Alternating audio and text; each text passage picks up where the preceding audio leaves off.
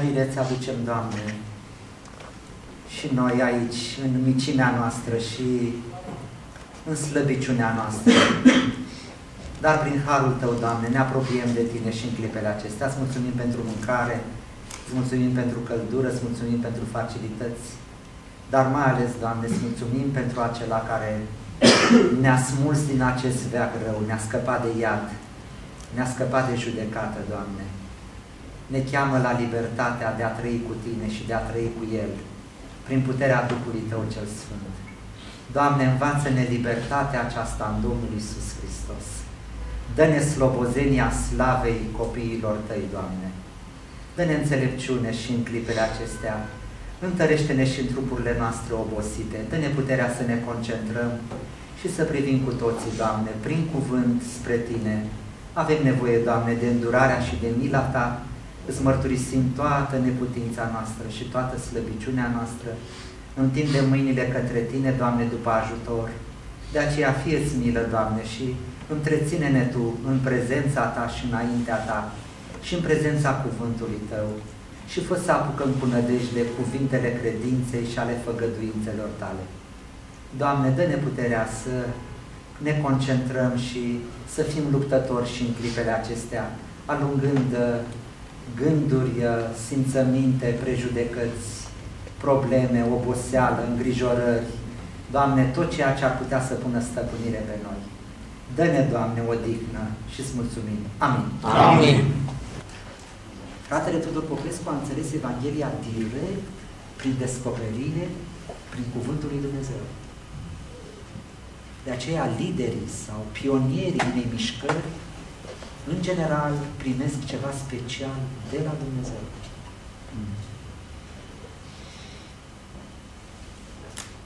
De la Dumnezeu. Și sunt și oameni credincioși care au trăit și ei ceva similar cu lucrul acesta. Nu intru acum, nu e timpul în detaliile acestea. De remarcat absența mulțumirii și rugăciunii în această epistolă. Numai o singură Evanghelie adevărată. Principiul expus în versetele 8 și 9 explică două adevăruri. Dar știți ce, știți ce nu-mi place aici că nu zice nimic de versetul 4? Lasă-mă să zic eu. Deci așa,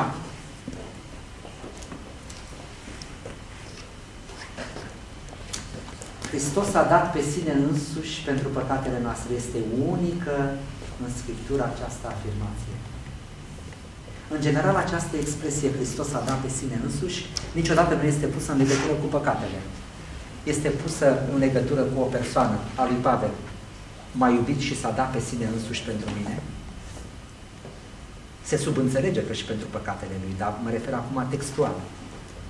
În epistola către Efeseni spune Hristos a iubit biserica și s-a dat pe sine însuși pentru ea.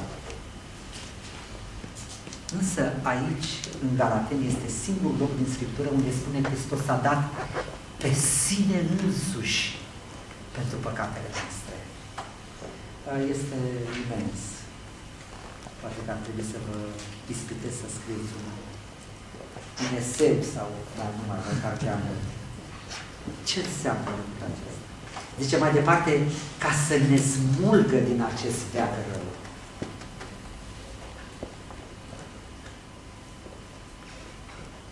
După voia Dumnezeului nostru și Tatăl. Și expresia aceasta, ca să ne smulgă, spune despre o lucrare uh, puternică, suverană, uh, să smulgi ceva. Înțelegeți? Și să smulgi dintr-un veac rău. Noi suntem o minune a Harului lui Dumnezeu. O minune a Harului lui Dumnezeu. Da. Uh, este debugetat asupra acestui verset, mi-a plăcut foarte mult, poate că nu să avem timpul în discuțiile noastre de astăzi sau de mine, să vedem ce este cu veacul acesta rău sau cu lumea în care cel puțin din vreo 3-4 puncte de vedere. Dar asta la după deasupra, dacă mai e timp. A, așa. Uh, o singură Evanghelie adevărată, de la versetul 6 urmează, mămii că treceți așa de repede de la cel ce va chema la o altă Evanghelie, măcar că nu este o altă Evanghelie, așa mai departe, și apare acolo de două ori cuvântul anatema.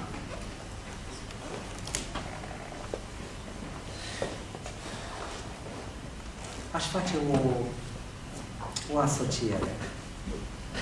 Când a fost vorba de mutarea credincioșilor din poporul evreu din pustie în Canaan trebuiau să treacă prin Erihon. Iar această cetate a Erihonului avea o anatemă specială. Anatema înseamnă blestemat, înseamnă despărțit. Înseamnă. Și anatema aceasta a sunat foarte clar. Dacă ajungeți în Erihon, să nu vă atingeți de nimic, nu puneți mâna pe nimic. Și, după ce veți distruge Erihonul, urmează un blestem al lui Iosua, nu de la el, ci de la Dumnezeu. Dacă cineva se gândește să zidească iarăși Erihonul, Erihonul este blestemat, va trebui să plătească un preț foarte scump. Cu prețul întâiului născut pe Media, cu prețul ultimului născut Mi-a pus porțile. porțile. Mulțumesc. Uh, o să revenim asupra acestei imagini în capitolul 2, unde se spune dacă zidesc iarăși ceea ce am dărâmat, mă arăt ca un călcător de lege. Dar am folosit doar această imagine, că trebuie să folosim și imagini care să ne ajute.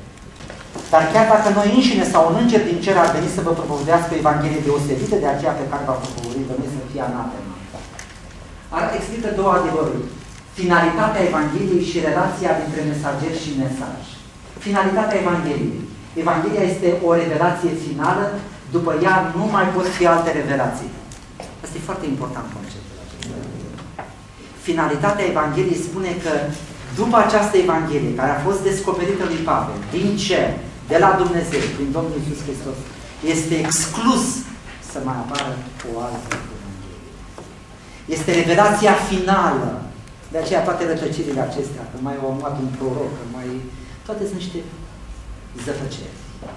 El spunea cineva în mașină lucruri de acestea. Da? Deci finalitatea Evangheliei este o revelație finală, ca și cartea Apocalipsei, când vorbim despre tot cuvântul lui Dumnezeu revelat. După Apocalipsa nu mai urmează nimic revelat. Nu mai există noi descoperiri după Apocalipsa. Canonul este încheiat, revelația este punct. Nu mai ai voie să mai adaugi. Și preceptul din Apocalipsa este vă mărturisesc ca dacă cineva scade sau adaugă, va fi pedepsit exemplar. Și se va lua dreptul de la primele vieții, spune acolo. De aceea trebuie în privința aceasta să fim foarte fixi. Aici nu e vorba de flexibilitate. Aici nu e vorba de a fi o inimă largă. Când e vorba de Evanghelie, suntem punctuali, exacti și fără comentarii. Evanghelia devine și relația între mesager și mesaj. Evanghelia devine etalonul pentru evaluarea atât a mesajului cât și a mesagerului. Mesajul îl califică pe mesager. Atenție! Mesajul îl califică pe mesager. Mesagerul este mai mic decât mesajul. Apostolul este mai mic decât Evanghelia. Apostolul este mai mic decât Evanghelia. Apostolul devine apostol prin mesajul acesta dumnezeesc care este Evanghelia. Iar Evanghelia este Isus Hristos și El răstigă. De aceea aceasta, la modul aplicativ, să ne încurajeze. Ori de câte ori deschizi gura și rostești numele Lui, și Golgota Lui, și suferințele Lui, și sângele Lui, și moartea Lui și ispășirea Lui, să ai satisfacția. Eu vă mărturisesc cu toată umilința că totdeauna încerc să o am. Nu la modul sentimental, nu la modul emoțional, ci la modul rațional. Am, ți-am vestit numele, cred că te bucuri. Și cu asta punct. Cred că te bucuri. Și dacă n-au ascultat oamenii, au ascultat îngerii. Nu ca să fie mântuiți, că îngerii nu se pocăiesc. Dar numele lui trebuie, tot trebuie proclamat. Și în pustie și tot trebuie proclamat. Și în casă, și în sufragerie, și pe stradă, apucă-te să strigi. Eu am făcut lucrul ăsta. Mergând pe stradă am început să strig, nu era nimeni. Nu, nu, nu, nu, să nu mă înțelegeți că sunt mistic. Numele Lui trebuie proclamat. Trebuie vestit, trebuie să te bucuri, trebuie să spui cu voce tare. Doamne Iisuse, slavă ție că ai murit pentru păcatele mele, pentru păcatele lumii, pentru păcatele din acest sat, pentru, pentru... Este adevărul dumnezeiesc. Este cea mai mare revelație și este cel mai mare mesaj al tuturor timpurilor. Celelalte poți să le arunci la groapa de gunoi. Tot internetul ăsta, cu milioane și milioane de descoperiri și de se duc la lata de gunoi a istoriei. Iisus Hristos cel răstignit și înviat și înălțat este forever and ever. De aceea ce ați făcut dumneavoastră că ați venit aici și că suntem împreună aici, este un timp câștigat, mai câștigat decât niște bani pe care i-ați pierdut pentru că ați venit aici. A stagnat lucrarea. Până la urmă toate se duc. Dar rețineți, ați venit aici și am venit aici ca să facem ceva pentru El, să-L proclamăm pe El. El aude și se bucură și merită. Vrednic este El să primească. Și acolo să sincer se uită toți, nu camera asta, și se uită toți și zice, băi, ăștia vorbesc despre mine. Cerul este interesat când se vorbește despre marele, despre împăratul împărații. O spun fără gratuitate și fără sensibilitate și fără sentimentalism, ci realitate. Noi am câștigat timpul ăsta. Ne spună niște lucruri noi, ci amintindu-ne și respectându-L pe El. El este. Nu zice era. El este din totdeauna. Uh, mesajul este fix. Evanghelia este fixă. Să nu vă săturați să spuneți mereu, pocăiți-vă și credeți în Evanghelie. Și nimic, absolut nimic mai mult. Să nu vă săturați să spuneți mereu lucrul acesta. Mesajul este fix. Ăștia spun că este fix, dar trebuie metode noi și, și lucrurile sunt foarte discutabile. De aceea Dumnezeu nu caută metode, ci caută oameni care să testească în toată simplitatea adevărul complex Domnul Hristos.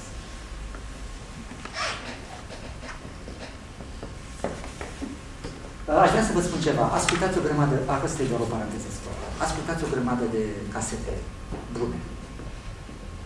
Fratele Stan, Iar, fratele Soi.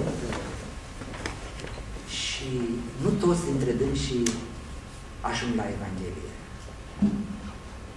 conving de păcat, fac asocieri cu ceea ce se întâmplă astăzi în lume, uh, lucruri frumoase, prezentate bine. Uh, Dumnezeu să-i binecuvânteze, sunt contemporan cu noi, uh, eu cel puțin ne dau cinstea cuvenită în inima mea. Pe de altă parte, foarte rar găsești predicatori cristocentrici care într-un mesaj să convingă pe oameni de păcat și să ducă la cruce. Și nu sunt de acord cu 90% lege și 10% har. Și dacă ar, s-ar putea 100% lege în sensul de convingere că e păcătos, dar 100% har. Și mi-ar plăcea să văd predicatori care poposesc îndelung la Golgota îndelung la Golgota. De dragul celui care este sus. Îndelung la Golgota. Dacă s-ar putea o convingere rapidă de păcat și dacă s-ar putea să se continue această convingere în puterea Golgotei și a jertfei de la Golgota. Pentru că și Golgota are mesaje suficiente de convingere de păcat. Nu doar legea care este la locul în privința convingerii de păcat. Era aici un frate, îl chema Alecu Alexandrescu, era profesor de matematică. Și era un copil, am deschis ochii în adunarea asta prin anii 64. Până atunci, în adunări de cartier, erau 30 adunări de cartier în București. În 62 a venit arondarea și toate adunările din București au fost băgate aici. 30 de adunări. Ce crimă Și unii zic, îmi pare rău, era mai bine pe vremea lui Ceaușescu. Era prost. Oamenii nu știu ce vorbesc. Asta e doar o paranteză. Nu știu ce vorbesc. Mari prostii.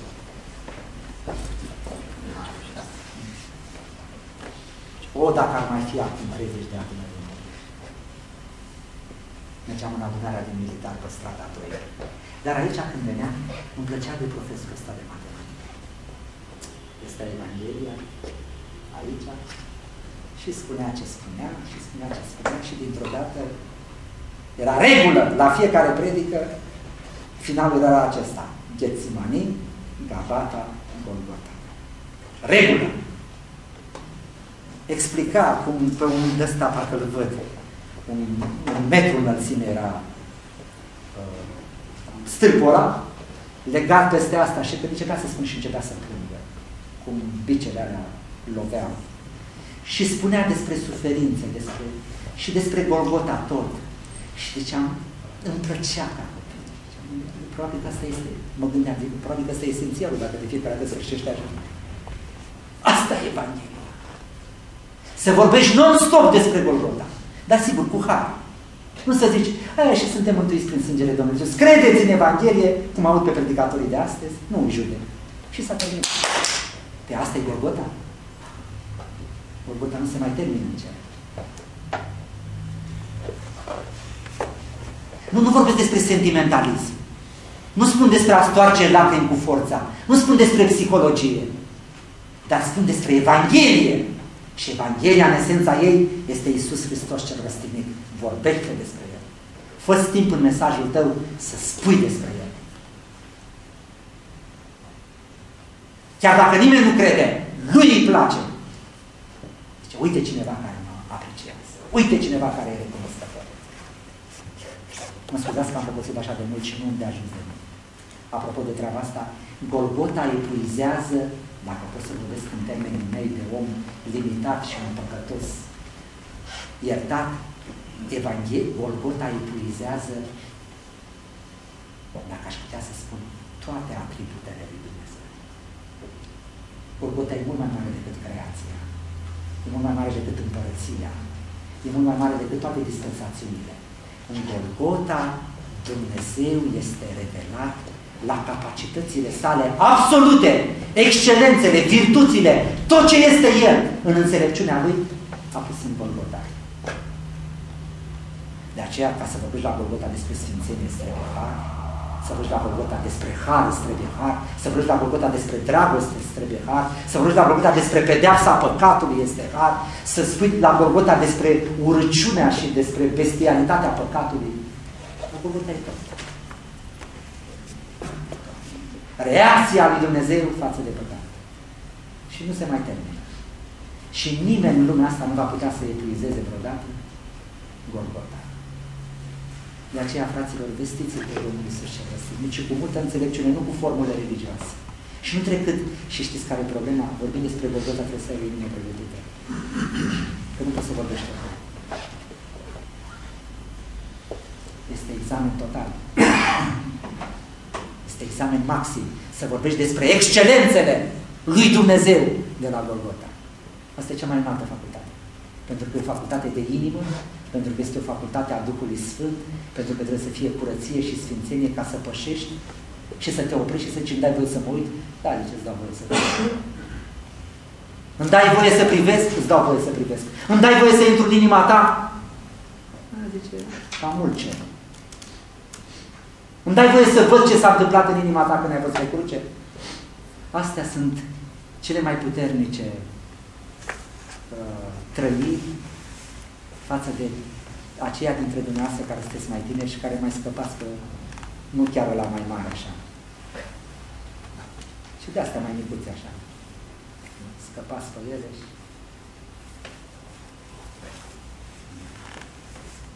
Și aș vrea să spun ceva. Toată lumea asta virtuală șterge profunzimea, adâncimea, lărgimea, înălțimea uh, adâncimea Golgotei. Toată lumea aceasta cu stricăciunea ei ne face insensibil față de adâncimea fără fund a Golgotei. Am trecut odată pe lângă un grup de tineri și se uitau la un film și băga și o fapă așa să Și unul era tăiat la gât atunci. Am sărit în sus și am zis, am văzut sângele la care curge și am zis, cum vă uitați la prostiile astea la care îi relaxați? A, zice, este o cutie cu vopsea. Adică, cum se aranjează astea? Dar tot uitându-te la vopsele, ajungi să nu mai reacționezi la adevăratul sânge. La adevăratul sânge. Și uitați-vă la tineretul de astăzi, dar numai la tineret. Și la bătrânet, că și la bătrânet le place televizorul, Puh, și țuiculița și vinișorul și... Trăim într-un creștinism bolnav! De aceea, fraților, sunteți frați care vestiți Evanghelia. Terminați-o cu celelalte lucruri, că toate lovesc în Golgota sau Golgota le termină pe toate. E o luptă pe viață și pe moarte. Ori Golgota biruiește, ori lumea biruiește. În noi, în realitate, pe Golgota Domnul Iisus a biruit totul. Dar în viața noastră, scăpând la toate mizeriile astea, Golgota rămâne singură. Chiar dacă nu terminăm, eu tot sunt răsuflat că am putut să spun uf. Mai departe. Uh, argumentul autorității apostolice, de la 1 la 10, în capitolul 1. Învățătorii falși puneau la îndoială autoritatea sa de apostol, iar Pavel descrie Galatenilor în această epistolă ca să ne arate, 1. Care este adevărata Evanghelie, 2. Ce drept are să le spună care este adevărata Evanghelie? Rețineți această expresie. Ce drept are e ca să le spună lor care este adevărata Evanghelie? 3. De ce să nu asculte de învățătorii falși? Deci trei lucruri. Care este adevărata Evanghelie? Ce drept are el? Ce competență are el să spună lucrul acesta? Și de ce să nu asculte de învățătorii falși? Învățătorii falși nici nu sunt apostoli, în timp ce Pavel este. Pavel le spune apoi de unde are autoritatea apostolică și apoi prin cine a primit-o. Argumentul, voi fraților, mai scapă de astea, că am scris repede, să nu râdeți de noi. Deci este primit, nu are o. Acum, deși mai sunt greșeli de astea, că am scris în fugă mare, dar să nu vă apucați să vă pierdeți timpul cu astea. Luați esențial. Uh, așa trebuia, cât mai bine, dar am făcut în mare fugă. Argumentul istoriei bisericii primare. Ok. Dacă ați fost atenți, deja aici este o compilație. Am băgat ceva din cartea asta care v-aș... Cât este ceasul frățioare? Dacă te-ai sculat, înseamnă că trebuie să venim. Ești un sfert. Numai eu mă ridicat. Bine. Când mai vii o dată, înțelegem că trebuie să plecăm. Vă recomand. Cine este scrisă de? De David Goody. Eu recomand. Da, e ușor de găsit, dar e, e bună. E așa, pendelete și sunt o grămadă de lucruri care dumneavoastră aveți mare nevoie să le știți. De genul, de exemplu, problema canonului, canonului Vechiului Testament, conflictele care au apărut atunci când uh, s-a tradus uh, Vechiul Testament în uh, Septuaginta greacă și s-a pierdut ebraica. Și a apărut un, un învățător bun și s-a apucat să traducă, s-a supărat marele, cum îl cheamă, Augustin, Augustin a lăsat această, a fost un om mare și deosebit, a, a avut și el greșeli de lui, nu mici. Una dintre ele a fost aceasta, biserica dă autoritate Scripturii. Fals, cu totul fals. Biserica trebuie doar să recunoască autoritatea Scripturii. Biserica trebuie să recunoască autoritatea Scripturii. Scriptura are autoritate prin inspirația ei prin Dumnezeu, prin Duhul Sfânt. De aceea când auziți o asemenea erezie care este și la catolicism, care este și la, chiar și la protestantism, care este și la ortodoxism, mântuirea este în biserică. Nu! Mântuirea este în Hristos, nu în biserică. Biserica nu mântuiește. Biserica este mântuită. Ea nu mântuiește pe nimeni. De aceea o să vă, eu am să fac niște referiri la ea, poate vă capacitez atenția și părerea mea este că dacă mă gândesc bine, Aș putea să o comand, că poate vă este greu. Se vede. A, deci, uh, bun. Argumentul istoriei bisericii primare este de la 1 la 11 până la 2 la 21. Sunt patru perioade ale istoriei, ale istoriei bisericii primare și când spunem de istorie, atenție, mă refer la biserica primară în contextul relației cu ceea ce s-a întâmplat în viața acestui om. Deci el istoric a fost contemporan cu biserica primară, înainte de convertire, dar este în cadrul acestei istorii. Cu când a avut o convertire și evenimentele de după convertire. Asta este primul, primul, prima perioadă. A doua perioadă, ce s-a întâmplat în următorii doi ani de la convertire? Cred că trei ani. Cred că trei ani. Ce s-a întâmplat în următorii 14 ani de la convertire, Galaten, capitolul 2? Ce s-a întâmplat că Petru a venit, a venit în Antiohia? Deci acestea sunt patru perioade care vorbesc despre argumentul istoriei bisericii primare în argumentarea libertății creștine în argumentarea adevărului apărării Evangheliei. Ce am spus despre compilație? Am spus că argumentul istoriei primare este tot una cu ceea ce am spus noi mai înainte, cine știe, apărarea? Apărarea? Evangheliei, da? Bun.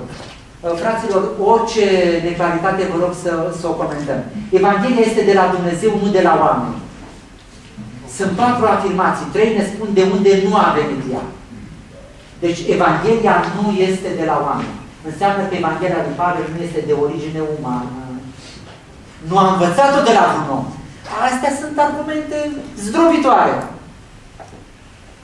A venit Evanghelia prin revelație divină de la Isus Hristos însuși. Aș vrea să fac o paranteză. Sunt biserici, nu sunt multe, care au căzut în extrema de a recunoaște că Evanghelia este numai Evanghelia lui Pavel. Ignorând celelalte uh, adevăruri ale Evangheliei în Scriptură. Este bine să știm că tot cuvântul este de folos să ne învețe, să ne mustre, să ne îndemne, să ne dea înțelepciune și toate epistolele.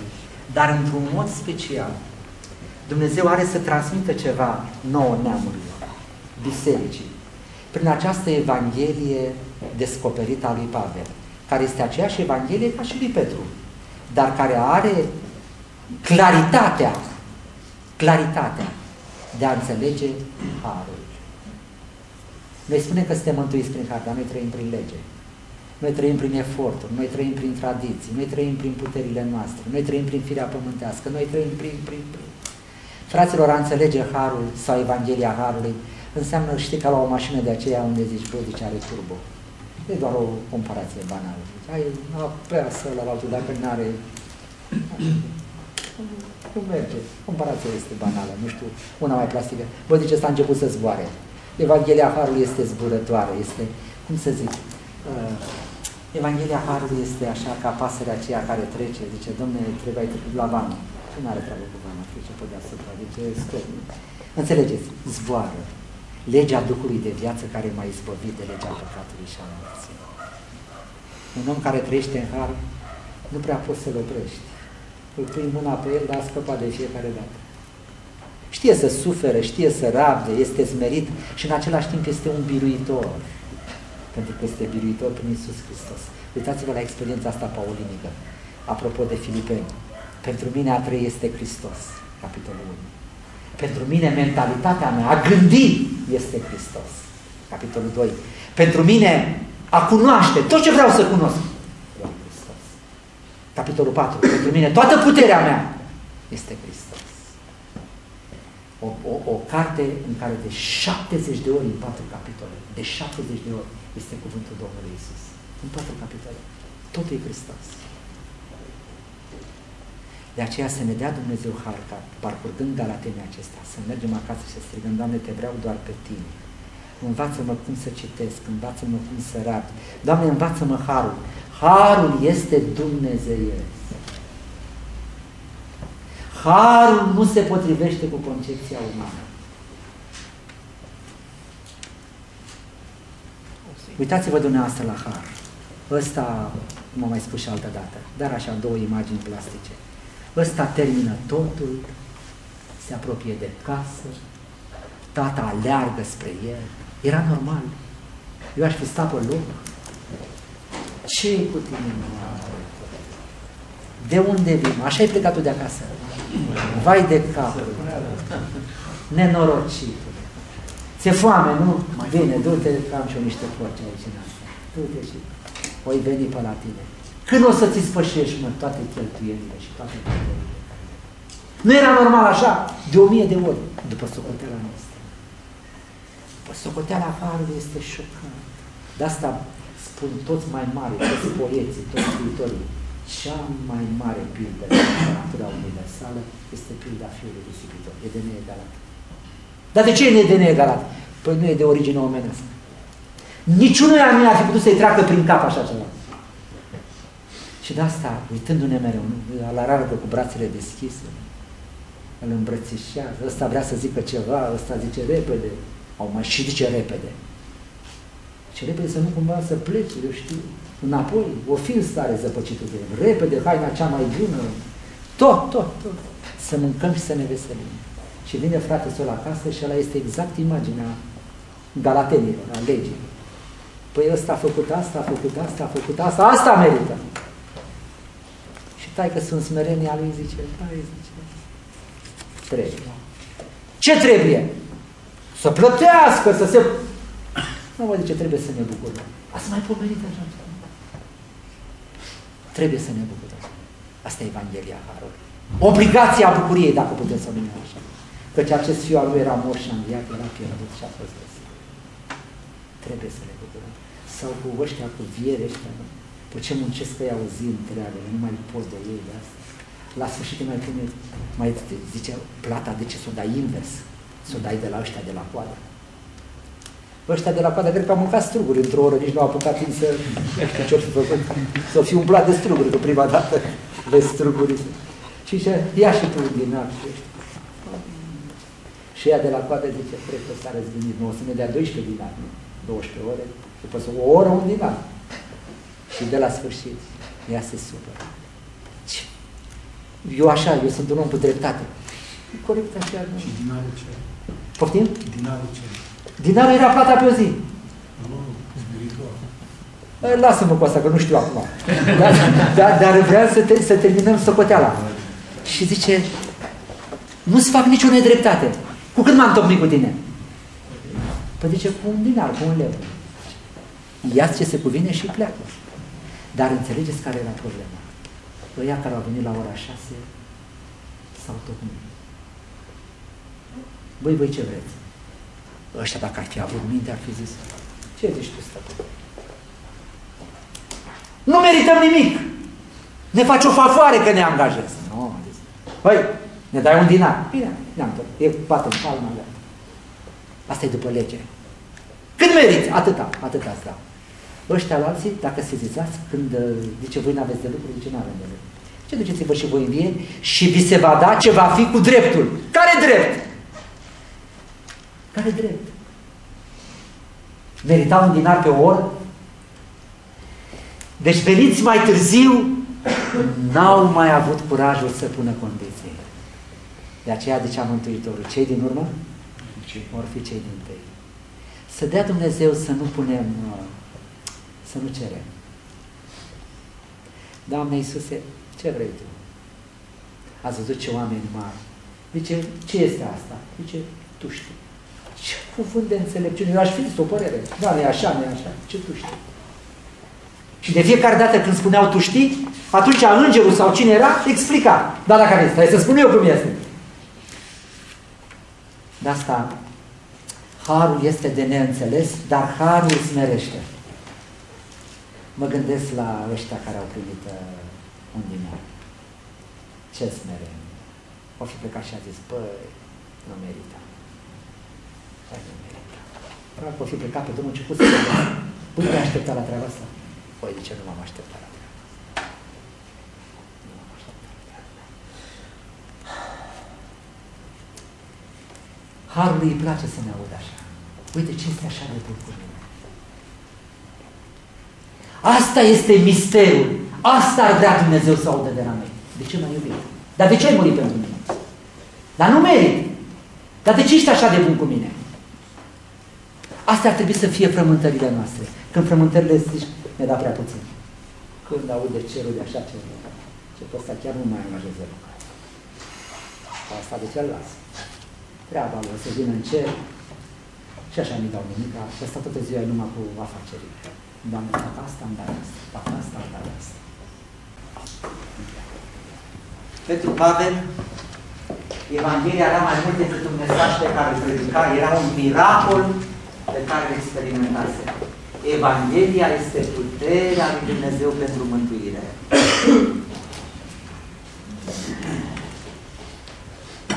Hristos a murit ca să ne smulgă, să ne elibereze. Când Pavel s-a încrezut în Hristos, a devenit un om liber. Șacalii păcatului și ai religiei legaliste au fost drobiți.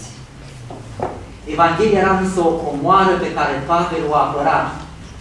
Pavel nu a inventat Evanghelia, nici nu a învățat-o de la alții. Dumnezeu i-a dat-o. Vedeți referința. Nu există nicio altă Evanghelie. A adăugat ceva la acest mesaj, a luat din el sau a substitui cu altul înseamnă a distruge. Nu e de mirare că Pavel îi ataca pe cei care atacau Evanghelia. Când pierzi Evanghelia, pierzi totul. Rețineți expresia aceasta. Ataca pe cei care atacau Evanghelia. Pavel n-avea de-a face cu oamenii în speță, n-avea ceva cu ei. Pavel ataca pe oameni pentru că ei atacau mesajul Evangheliei. Când este vorba de mesajul Evangheliei, trebuie să fim fermi. Nu e de negociat. Când e vorba de cineva care propovăduiește o altă Evanghelie, trebuie să fim fermi. Nici măcar mâna să nu dăm cu el. A venit toată omul la mine acasă, a fost așa de deschis încât mi-a spus ce crede. Și l-am poftit pe ușa afară. Se așezase la masă. Nici mâna măcar n-am dat cu el. Odată în metrou stăteam de vorbă cu două fetițe de astea de la mormon și zâmbeau așa și, mă rog, eu nu zic să faceți așa. Am dat doar exemple spontane care îmi Și am fost foarte ferm față de una dintre ele. Și au trebuit să se retragă. I-am zis, de ce râzi? N-ai voie să râzi. S-a uitat așa la mine. Evanghelia pe care o propovăduiți voi nu este o Evanghelie adevărată. Aveți nădejde, aveți ce? Ce aveți? De ce zâmbești? Ești o pierdută. De ce zâmbești? Astea sunt spontaneități, nu să facem așa. Dar vreau să zic, credincioșii sunt oameni care iubesc, care se jerfesc, care, dar sunt fermi când este vorba de adevăr. Și să cu călăuzirea lui Dumnezeu. Uitați-vă ce atacator. Când au văzut că oamenii îndrăznesc să se atingă de Evanghelie. Poate ne rog. Un pic asta oprește acolo. Trăim într-o vreme în care învățăturile abătute dau busna. Și trăim într-o vreme în care chiar cu aceste adevăruri înțelese doar teoretic, oamenii nu vor rezista minciunilor care vor veni. Și minciunile sunt pregătite și aș vrea să spun acum despre aspectul practic. Dacă vestești Evanghelia și dacă îl vestești pe Domnul Isus cel răstignit, Evanghelia este serioasă, este cu preț de sânge și atunci utilitatea, liberalismul și o grămadă de lucruri care sunt în viața așa zisilor creștini din biserici n-au nicio legătură cu Evanghelia. De aceea observați tot mai mare discrepanța care este în adunare între ce se spune și ce se face. Pentru că ce se spune, ce se spune nu se gândește omul la ceea ce se spune. Când spui despre Isus Hristos cel răstignit, atunci punct păcatului. Ori este înfricoșătoare, asta o spun doar întreagă, este înfricoșătoare practic. Credincioșii merg la filme, la filme chiar necreștine, credincioșii ascultă muzică necreștină, credincioșii ascultă muzică de asta urâtă. Sunt o grămadă de practici și merg pe buza prăpastiei. Și îi întreb, măi, ești credincios? Băi, de ce nu curvesc? Sunt credincios. Băi, de când curvești? Că nu e vorba doar de păcatul în sine. Zicea Iacov, suflete prea curvare. Nu știți că prietenia cu lumea este, cu lumea este vrăjmășie cu Dumnezeu? De aceea, fraților, aveți curajul, este o rușine astăzi printre tine să promovezi Sfințenia. Este o rușine. Te încadrează, te, te simți prost. Ai, băi, zice, o ei tu. Deci s-a ajuns în situația asta. Înainte ți era rușine, mă rog, cu cei din lume. Acum ți este rușine în biserică. În biserică nu spun în întâlnirea de aici. Da. În anturajul de așa. Ce mai faci, băi? Ce mai faci, băi? Da. De aceea, uh, școala aceasta care s-a început să dea Dumnezeu să fie o emanație de sfințenie și de seriozitate, să zică oamenii, zice, băi, ăsta este student la școala Tudor Popescu. Păi de ce se cunoaște? Am fost și noi prin multe școli. Nu mai în vest și peste tot. O grămadă de ușurătăți, o grămadă de glume, o grămadă de lucruri care nu se potriveau cu ceea ce se urmă. De aceea, fraților, ați îndrăznit să luați acest nume, este al unui om, dar al unui om credincios, oamenii îl cunosc, îl cunosc. Deci eu când merg pe unde merg, zicea, a, tu de Popescu, zice, l-am cunoscut. O grămadă de studenți baptiști veneau aici să-l asculte pe Tudor Popescu. O grămadă, care acum sunt oameni la 70-80 de ani, am stat de vorbă cu dâns și, a, zice, când eram student, că este aici, pe Berzescu, Institutul Baptist, veneau aici să-l asculte pe Tudor Popescu. Pentru că vestea o Evanghelie foarte clară, unul dintre harurile acestui frate a fost că a înțeles harul. A înțeles harul. Deci a fost un om, deși un teolog, care a reușit în simplitate să vorbească în așa fel încât omul să plece cu o Evanghelie clară, Evanghelie mântuitoare de sine. Repet, îl ascultau studenți în teologie, oameni mari, care au ajuns oameni mari și care au zis, băi, zice, jos pălăria. De aceea să nu vă fie rușine. Aș vrea să spun ceva. Frățietatea noastră suferă de un complex de inferioritate. Aia zice Tudoriști. Cei mai prăpădiți. Fals! Cu totul fals. Tudoriștii, ca mișcare, suntem o mișcare indigenă, singura mișcare indigenă. Creștinii după Evanghelie s-au întâlnit Dumnezeu prin misionariat în exterior, baptiștii la fel, penticostalii la fel și alte grupări creștine. Singura mișcare, prin Harul lui Dumnezeu, nu avem niciun merit, a fost o mișcare doar a noastră care s-a născut în sânul Bisericii Ortodoxe, ca și oastea Domnului. De aceea să nu vă fie rușine cu numele acesta. Băi, de unde ești? Încerc să o scalezi. Băi, tu ești botezat mic. Nu, nu, mai rău, nebotezat. Sau nebotezat. Nu vă fie rușine. Apropo, cât de curând o să, mă rog, să mai găsim căi să discutăm și despre problema asta. Nu e cazul acum.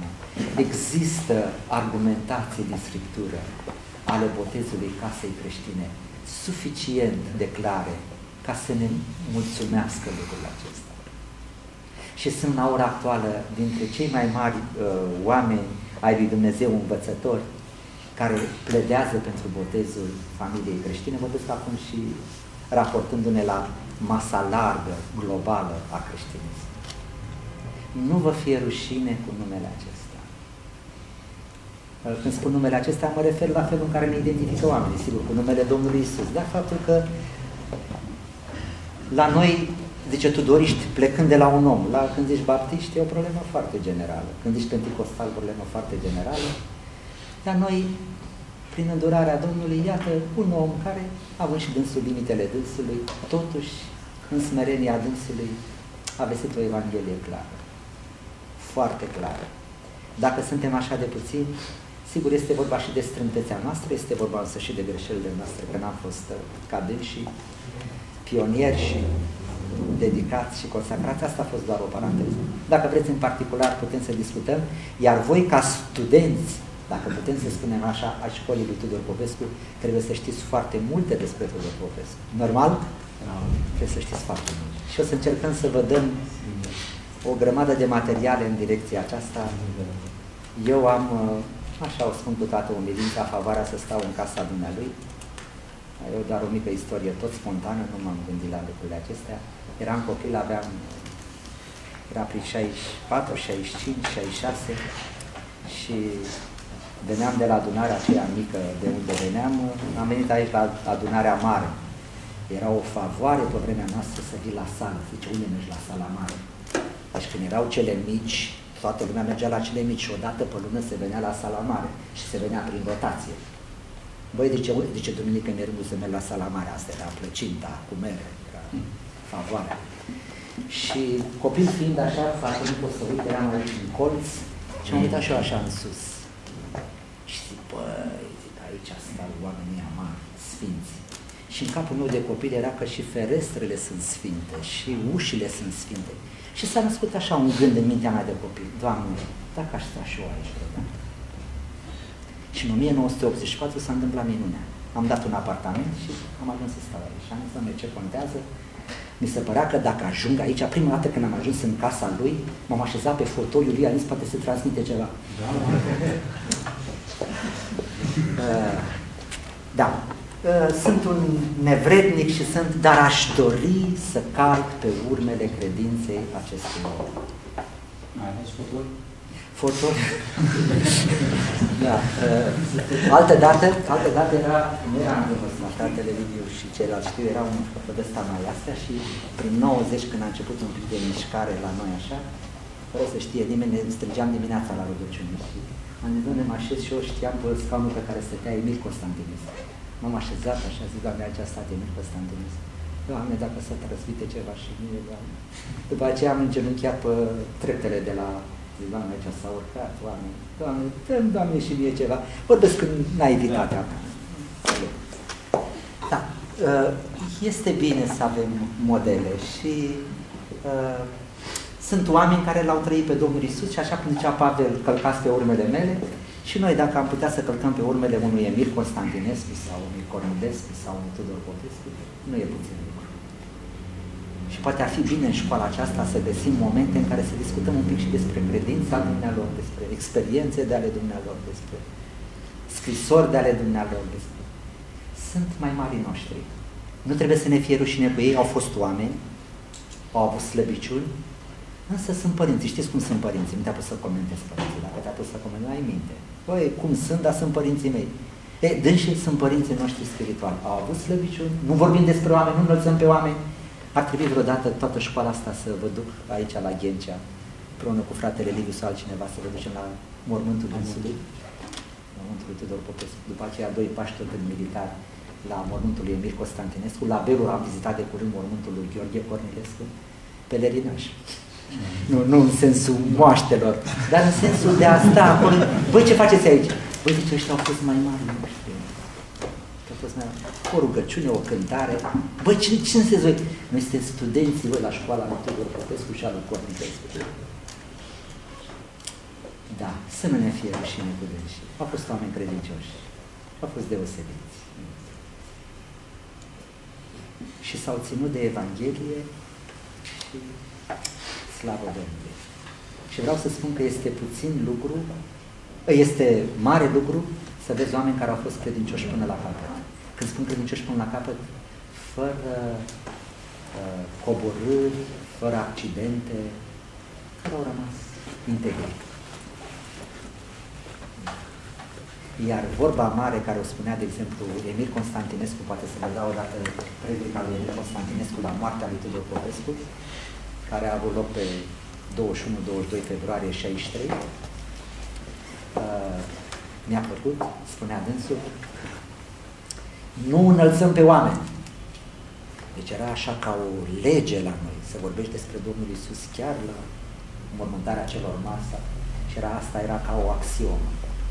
De aceea fac precizarea asta la sfârșit, să nu gândiți, băi, ăștia vor să zică eu sunt alipagre, sunt de Apollo sau lui Tudor Popescu, sau, dar să ne știm un pic uh, identitatea noastră în Domnul Hristos, dar raportată geografic, uh, istoric, uh, Și în înțelegerea cuvântului lui Dumnezeu, așa cum unii sunt ai lui Calvin, alții ai lui Luther, alții ai lui...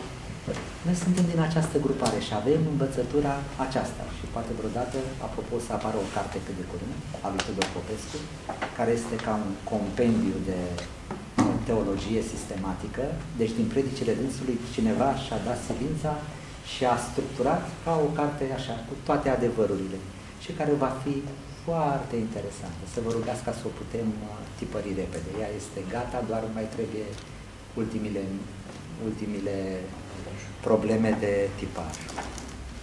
Și atunci o să vedeți cu ochii dumneavoastră uh, cum a gândit acest om și cum a înțeles Evanghelia.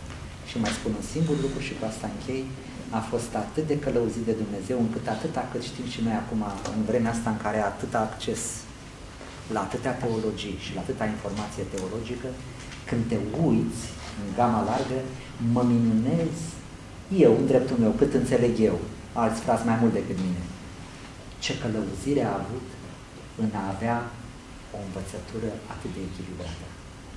Cu privire la mântuirea prin har, cu privire la trăirea prin har, cu privire la uh, răpire, cu privire la necazul cel mare, cu privire la împărăția milenară, cu privire la cer și la iad, cu privire la familia creștină, o grămadă de adevăruri care sunt universal valabile astăzi în teologie față de atâtea exagerări care sunt astăzi. Câtă claritate! Câtă claritate! De aceea suntem uh, datori. Gândiți-vă că sunt atâtea frățietăți care sunt mai largi decât noi, dar care au o grămadă de minusuri majore în învățătură și inclusiv în practică. Inclusiv în practică.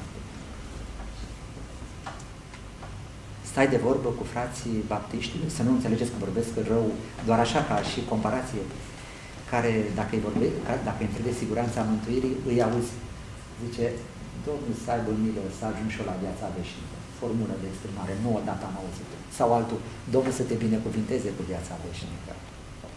Și sunt oameni credincioși, dar care n-au siguranță. N-au claritate. Și nu puține am întâlnit de felul acesta. Nu mai spun despre frații care se mișcă în, în Biserica Pentecostală, care au și din și problemele dumneavoastră și nu vreau să alunec spre a face neapărat o, o, o comparație. Dar am vrut să spun doar să nu vă simțiți, băi, zice, ăștia sunt ai lui Postan, ăștia sunt ai lui băi, ăștia sunt, iar noi suntem mai nimănui. Să nu ziceți așa. Uite, vreau să vă spun, am fost chiar în stat de vorbă cu cineva care mi-a spus despre o adunare unde un lider foarte cunoscut în, în zona aceasta de București, merge acolo, merge acolo și tineri de-ai noștri, din adunare. Au plecat de la noi. Uh, și uh, dacă tinerii ar ști viața pe care o trăiește cel pe care îi învață, ar rămâne blocați.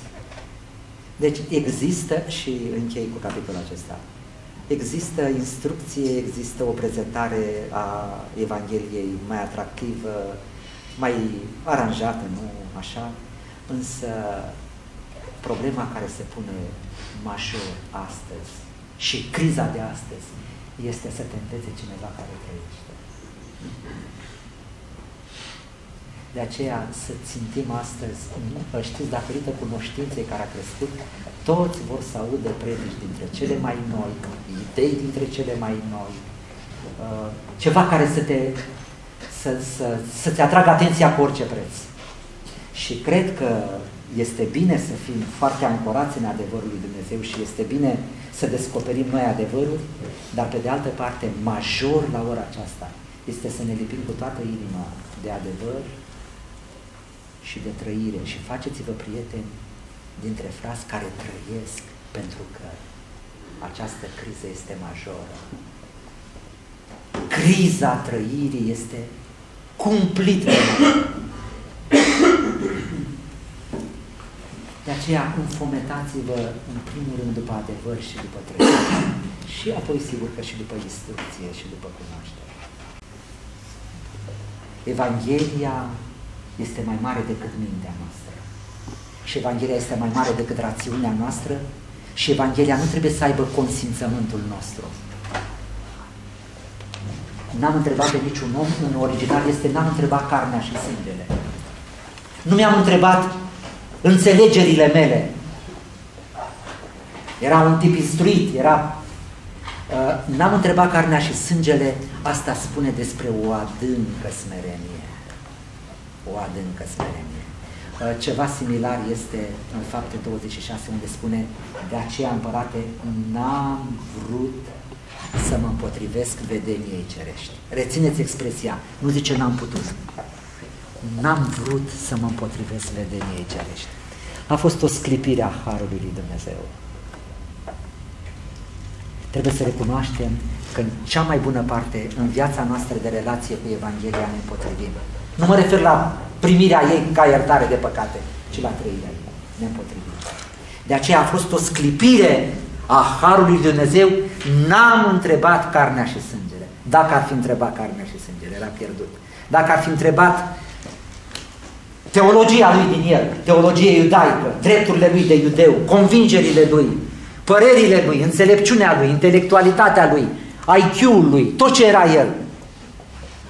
N-am întrebat carnea și sângele. De aceea Evanghelia este specială. Evanghelia nu se adresează inteligenței noastre. Nu se adresează capacităților noastre intelectuale. Evanghelia are de face cu forul nostru cel mai lăuntric, cu spiritul nostru, cu, cu acea identitate a noastră greu de descoperit, dar pe care Evanghelia o scoate la iveală. N-am întrebat pe niciun om. Sau, corect, n-am întrebat carnea și sângele. N-am întrebat pornirile mele, nu m-am întrebat pe mine. A, a, a, a, a capitulat, a căzut, a zis ce vrei să fac? A fost ceva extraordinar. Dincolo de revelația din cer. Puternică, zdrobitoare.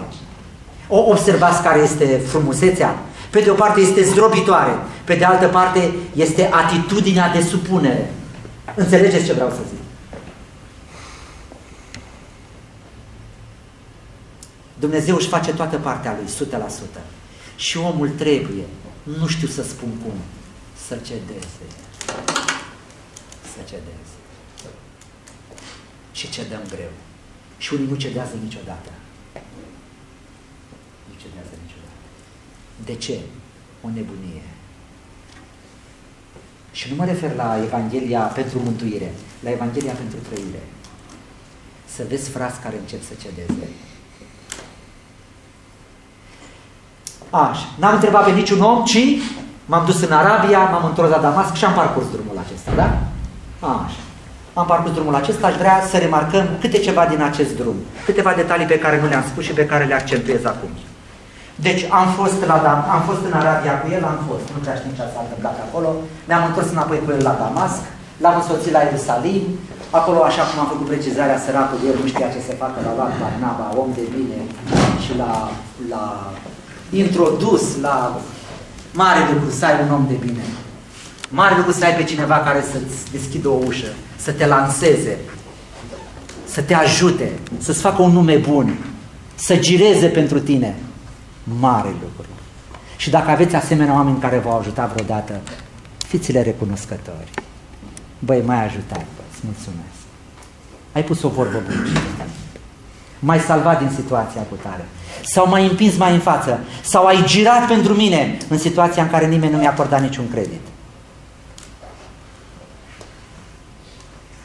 Așa. Și cu, toată, cu tot girul lui Barnaba, evreii care vorbeau grecește, gata să-l sugrume. Și așa cum am remarcat, a fugit la Tas. Dar nu mai reluăm acum lucrurile, ce vreau să, să rămânem cantonați în Galateni, capitolul 1. Și capitolul 1 spune că era încă necunoscut, la... să vă uitați pe text, vă rog. O să vedem acolo imediat mai departe. Uh, uitați-vă pe text. Era încă necunoscut la față, vorbesc despre sfârșitul capitolului 1, bisericilor din Iudeea. Dar ceva frumos. Au auzit că cer, care altă dată era prigonitor, acum vestește Evanghelia și urmează ceva extraordinar. Și pentru mine l-am luat ca un moto slăveau pe Dumnezeu din pricina mea. Cum e posibil?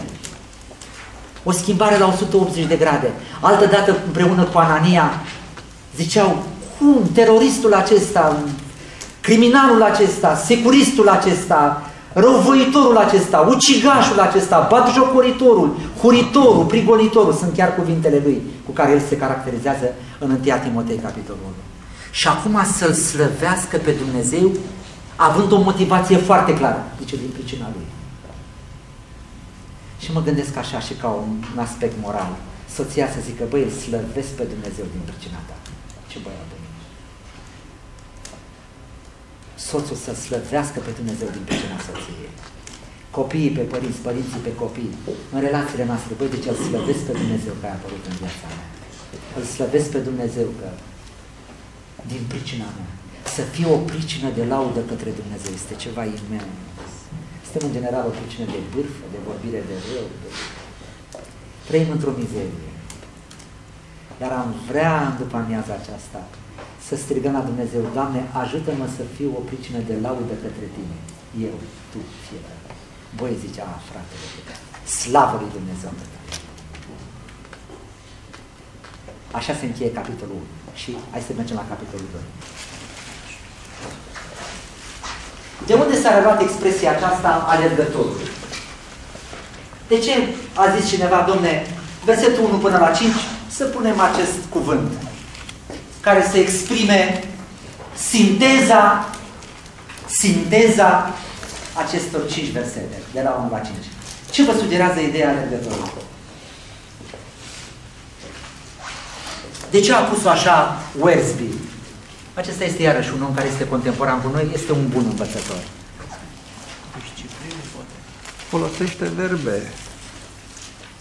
M-am suit, am luat cu mine, m-am suit iarăși, le-am arătat. Foarte bine. Deci este ceva foarte activ. Pavel vorbește în verbe, adică în acțiuni. A fost un om de acțiune. Evanghelia este acțiune. Evanghelia este acțiune. Stătea de vorbă cu un frate care spunea uh, prin noiembrie. Fraților, chiar dacă mai divaghez un pic, poate ne prinde bine. Zice, băi, zice, tu cum te smerești? Înaintea lui Dumnezeu? Iar eu, marele neprihănit, am zis, păi bineînțeles, mare păcat. Cum mă? Da, de ce e mare păcăleală? Zice, smerenia care îi spui lui Dumnezeu, îi spui lui Dumnezeu în rugăciune și ce nu faci? Exagerez. Și când te pui între frați și zice, mă, iubește-l pe fratele ăsta. Uh! Abia atunci se vede practic că nici vorbă de smerenie, nici vorbă de sfințenie. Înțelegeți? De aceea calea prin care poți să cresc, chiar dacă nivelul e scăzut, este să-i accept pe frați, este să mă smeresc, este să-i rab și mai ales exercițiul despre care spuneam și cu care eu mă străduiesc pentru mine, Dumnezeu să aibă milă de mine. Doamne, vreau să verific, îl iubesc? Îl iubesc? Dacă nu-l iubesc, nu sunt un om liber. Asta este uh, vârful din Galateni. Nu faceți din slobozenia voastră o pricină ca să trăiți pentru firea pământească, ci slujiți-vă unii altora în dragoste. Ăsta este uh, etalonul, acesta este verificarea că ești un om liber. Restul sunt doar vorbe. Sunt doar vorbe. Încheind, calea prin care demonstrez că sunt spiritual este când în mijlocul frățietății, care să zicem e mai jos decât mine, să dea Dumnezeu să fie așa, te uiți, zici, ăsta e fratele meu, îi dai cinste lui acesta, îi dai cinste lui celălalt, îl iubești pe celălalt, te smerești față de celălalt și cerul notează, îți zice, e bine. Ești în trup. Chiar dacă trupul săracul, vorbind prin exagerare, ficatul e terminat, vorbind ca și eu rinichiul, de exemplu. Rinichiul merge foarte bine. Vorbesc la modul pur imaginativ. Bă, trupul este cam prăpădit. Dar este în trupul acesta un organ care legat foarte bine de cap mai ajută încă trupul. În trupul nostru sunt două elemente foarte importante după Scriptură. Inima și rinichii sau rărunchii, cum este expresia. Interesantă. De aceea aveți grijă de inimă și de rinichi. Și de ficat și de altele, dar mai ales de astea două. Uh, încheind această divagație, atenție la ceia care au putere. Poate sunt printre dumneavoastră oameni puternici. Știu ce vor, au agendă, voliționali, puternici. Dumnezeu ne-a creat așa. Unii mai mui, alții mai tari. Dar atenție cum folosiți aceste lucruri. Cunosc frați care au fost puternici și s-au dus, s-a dărâmat. Și Pavel a fost puternic. Uitați-vă la el. Dar i-a îndreptat Dumnezeu această putere unde trebuie. Puterea unde trebuie. Putere zdrobită și apoi și așa mai departe. Ah, iertați-mă pentru divagațiile Așa. Deci spuneam despre uh, momentul urma unei descoperiri. Du-te, Pavel! Du-te! Și frații, du-te, Pavel și Pavel. Așa și așa. Să urmărim mereu această dublă călăuzire, dacă vreau să spun. Pe cât posibil. Pe cât posibil. Dar revenim. Haideți să vedem acum, într-o oarecare ordine istorică, cum s-au întâmplat lucrurile. Cred că Galateni, capitolul 2, versetul 1, le-am propovăduit Evanghelia pe care o propovăduit, le-am arătat Evanghelia pe care o propovăduiesc eu printre neamuri, un deoseb celor mai cu vază ca nu cumva să alerg sau să fie alergat în zadar. Întrebare, cum înțelegeți locul acesta?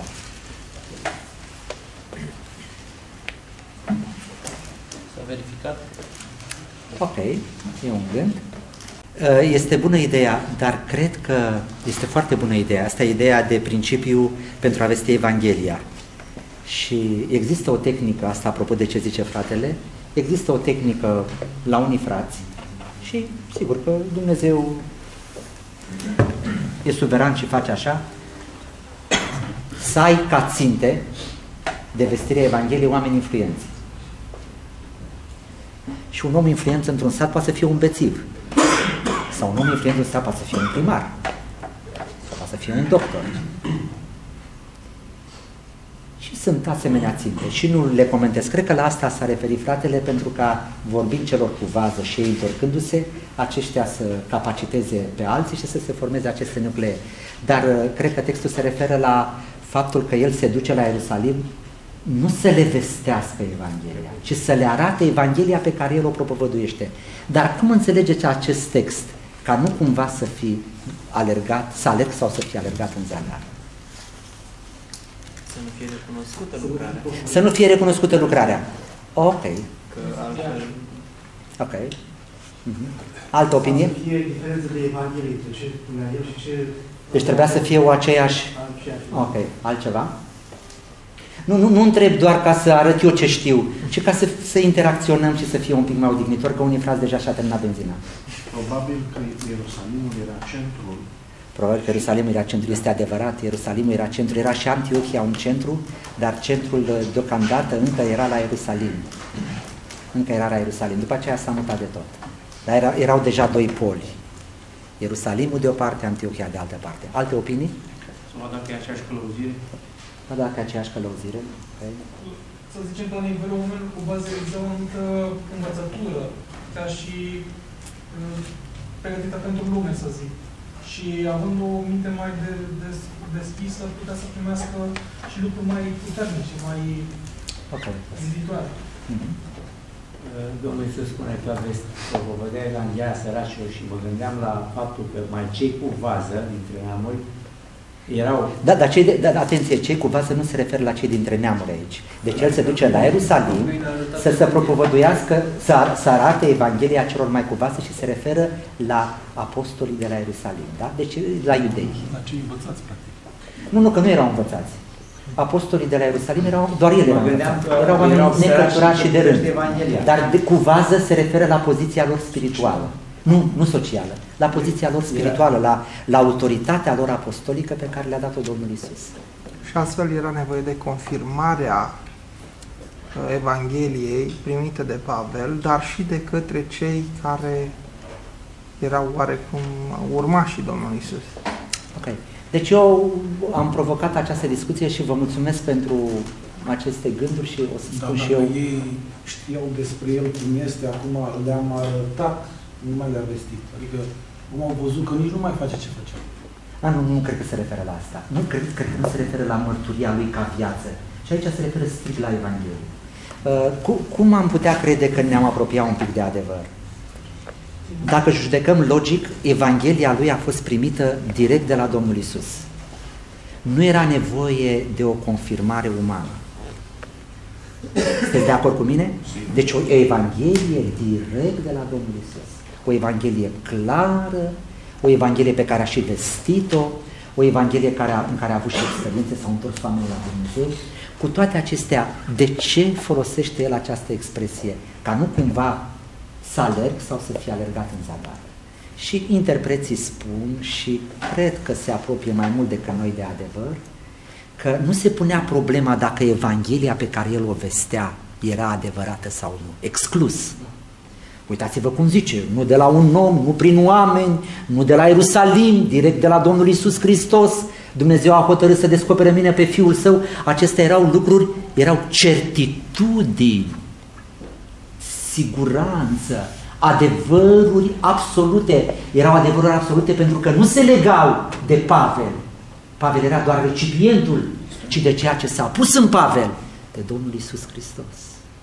De aceea el îndrăznește să zică, nu de puține ori în epistole lui, Evanghelia mea. Da.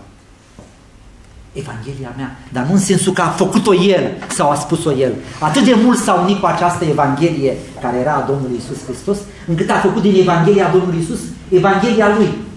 În sensul pozitiv, este a mea. Așa de tare s-a unit. Încât ziceai, mă, a cui e? A cui e? E a mea sau e a Domnului Isus? Deci ambele adevăruri sunt adevărate. Trăim noi așa ceva, suntem departe, departe. Mă duc aminte de un bătrân, Ștefan Azimioară îl chema. Și un frate prin 77 când se vestea aici cuvântul și era așa, mă rog, mai multe lucruri deosebite și așa. A spus la un moment dat uh, Domnul Iisus nu știa că era vremea smochinelor și explica că Domnul Iisus în uh, limitarea lui ca om până acolo a putut să coboare încât să nu știe. A toate știutorul. Și gândul era frumos să te limitezi atâta. Și eu, nesăbuitul de mine, am zis că cine știe ce descoperire fac și m-a dus și am zis fratelui, uite ce frumos a zis. Când a auzit, ăsta era patriarh.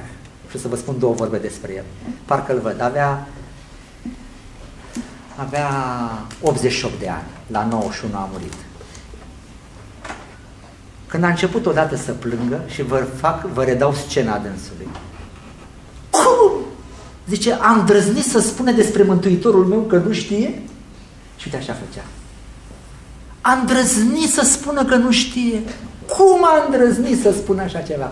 Dar vă redau expresia, Mântuitorul meu. A, atât de tare era al lui, încât era în stare să facă război. Cum de a îndrăznit tânărul acela să spună că Mântuitorul lui... Și da, chiar dacă ar fi așa, tot n-aș îndrăzni să spun că Mântuitorul meu nu știe. Dar am vrut să redau doar expresia aceasta, al meu. Al meu. Cum zicea odată femeia aceea, l-au luat pe Domnul meu. meu. Tu suntem la expresia asta, nu știe. E o expresie în Biblie. Da. Și că știe numai tatăl, nici fiul nu știe. Da. Aici cum? Frate, pentru Ca vremea... om, ca om, pe, da. ca, ca om, da. Ca fiul Dumnezeu știa tot. Dar el, el se cantonează în relația aceasta smerită. Eu sunt aici acum și sunt ca Nu, voi. fratele, dacă era lângă el atunci... Da, da, nu, nu, nu. Eu am vrut să scot în evidență ce înseamnă al meu. Trăirea aceasta este al meu. Uh, am, al- vreau să încercăm să depănăm un pic mai departe lucrurile. Cum se pare că se înțeleg lucrurile? Nu se pune în discuție dacă Evanghelia lui Pavel este bună sau nu. Nu-L verifici pe Dumnezeu. Și nu-L verifici pe Domnul Isus.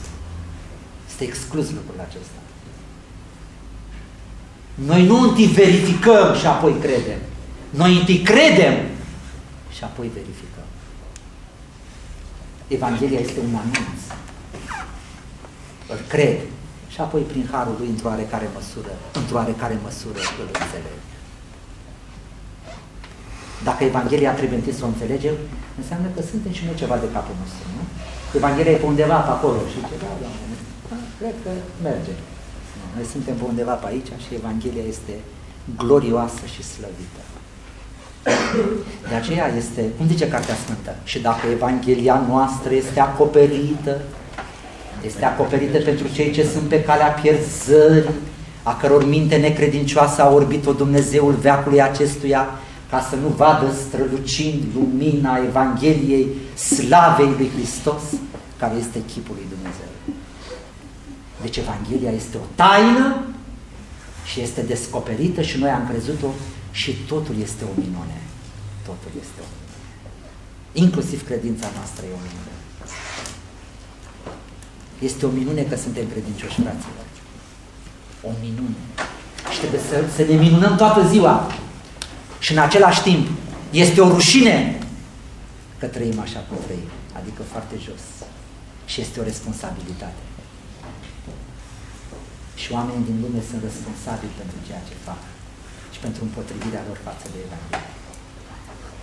Dar, cum spun oamenii uh, care s-au apropiat un pic mai mult decât noi, este că omul acesta, când spune să nu fie alergat în zadar, se referă la faptul că, deși Evanghelia era adevărată și perfectă, iudaizatorii erau în stare să-l facă să fie alergat în zadar. Adică acolo unde el a pus grâu, să vină ăștia să pună neghină, care să năbușe grâul. La aceasta se referă alergarea în zadar. Mă duc până la Ierusalim să le spun și să discutăm despre acești semănători de, de neghină, că ăștia vin și distrug lucrarea lui Dumnezeu. Mă duc la Ierusalim. Nu mă duc la Ierusalim ca ei să pună ștampila și să zică e bună Evanghelia ta. Măcar că mai jos se spune ceva despre lucrul acesta. Mai jos se spune ceva despre lucrul acesta. Dar, repet, privind cu atenție lucrurile, este așa o zmerire a Apostolului Pavel că se duce la Ierusalim, pe de altă parte la Ierusalim nu face niciun compromis, nu face niciun compromis.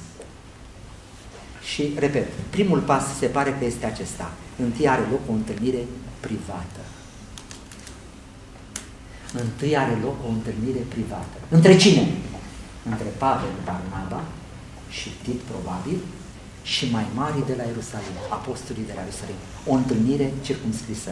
În traducerea Cornilescu uh, 31, în loc de expresia aceasta în deoseb celor mai cu vază,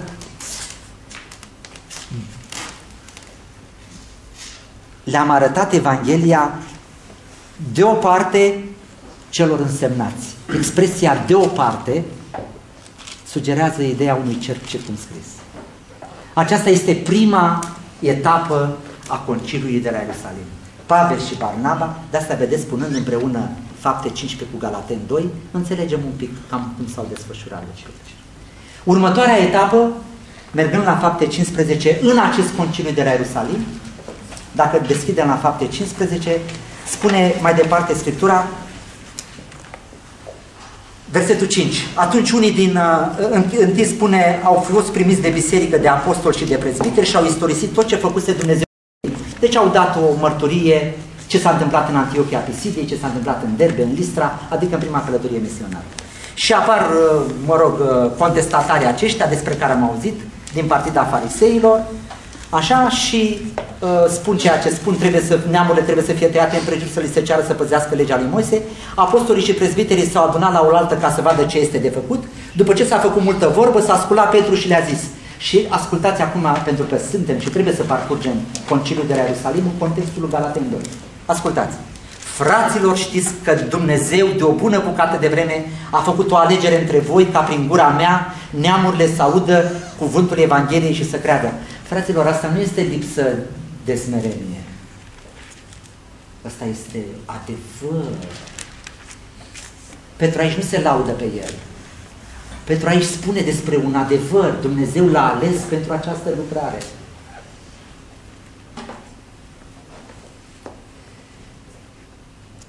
neamurile să audă cuvântul Evangheliei și să creadă. Când s-a întâmplat treaba asta? Când s-a întâmplat? Cu Corneliu. Foarte bine.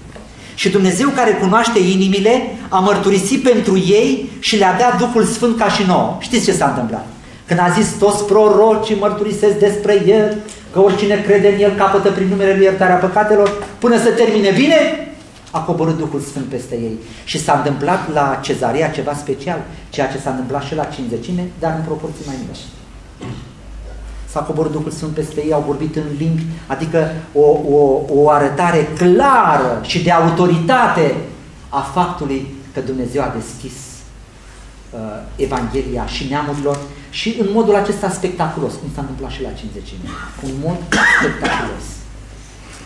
Mântuirea, se zice în Evrei 2, uh, uh, Evanghelia uh, însoțită de semne și de minuni, se spune în, Evanghelie, în Evrei capitolul 2. Și așa a fost la început. O Evanghelie care a fost însoțită de aceste lucruri speciale care să ateste că lucrarea este de la Dumnezeu. Cu semne vizibile. În fine,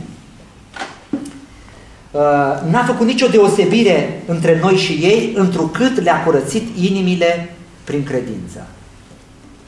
Acum, dar de ce ispitiți pe Dumnezeu și puneți pe grumazul ucenicilor un juc pe care nici părinții noștri, nici noi nu l-am putut purta? Ci credem că noi, ca și ei, suntem mântuiți prin carul Domnului Isus. Toată adunarea a tăcut și a ascultat pe Barnaba și pe Pavel, care au istorisit toate semnele și minunile pe care le făcuse Dumnezeu prin ei în mijlocul neamurilor. Au vorbit la început? Când la început? La început în Galaten 2, într-o întâlnire privată. Au vorbit apoi în întâlnirea cea mare în care au apărut contestatarii farisei. Au vorbit acum după Petru, au dat mărturie despre toate minunile și semnele pe care le-a făcut Dumnezeu prin ei. Aici aș face o paranteză. Dacă vă uitați la faptele apostolilor această carte, aproape că este la indigo cum a ales Duhul Sfânt să împartă în două mărturia lui Petru și mărturia lui Pavel. Dacă Petru a înviat un mort și Pavel a înviat un mort. Înțelegeți? Deci în așa fel încât să nu fie discuție pentru noi urmașii. Măcar că Pavel spune la un moment dat, am lucrat mai mult decât toți. Numai Dumnezeu știe și se va descoperi în cer pentru că nu se spune în detaliu. Dar ce frumos în Cartea Faptele Apostolilor are grijă Duhului Dumnezeu prin Luca ca să ia de la fiecare. Asta a făcut ăsta, a făcut și ăsta la fel. A făcut ăsta așa, dacă vă uitați de exemplu cu ăsta, cu Elima vrăjitorul și cu ăla altul al lui Petru, cum îl chema? Simon. Simon. Și foarte multe similitudini în care cuvântul împarte așa, cu înțelepciune prin Duhul lui Dumnezeu, ca să nu apară alte Liviu, am simțit că ai vrut să spui ceva. Uh, și așa. Și după aceea spune, când au încetat ei de vorbit, Iacov a luat cuvântul și a zis, și urmează disc ăsta, uh, discuția lui Iacov, cad de acord, scrie o scrisoare, o semnează și pleacă cu această scrisoare câți? Cel puțin doi, Iuda și cu Sila, și zice, ceea ce ei vă vor spune prin viu grai este și în această scrisoare pe care o citesc în adunarea din Antiochia, dacă mergeți mai departe și citiți lucrurile. Acum, privind un pic spre Galaten, pentru că până asta ne interesează. Deschidem la Galaten, capitolul 2. Frate, nu ne-am uitat tot ce ai scris aici. Te-ai supărat?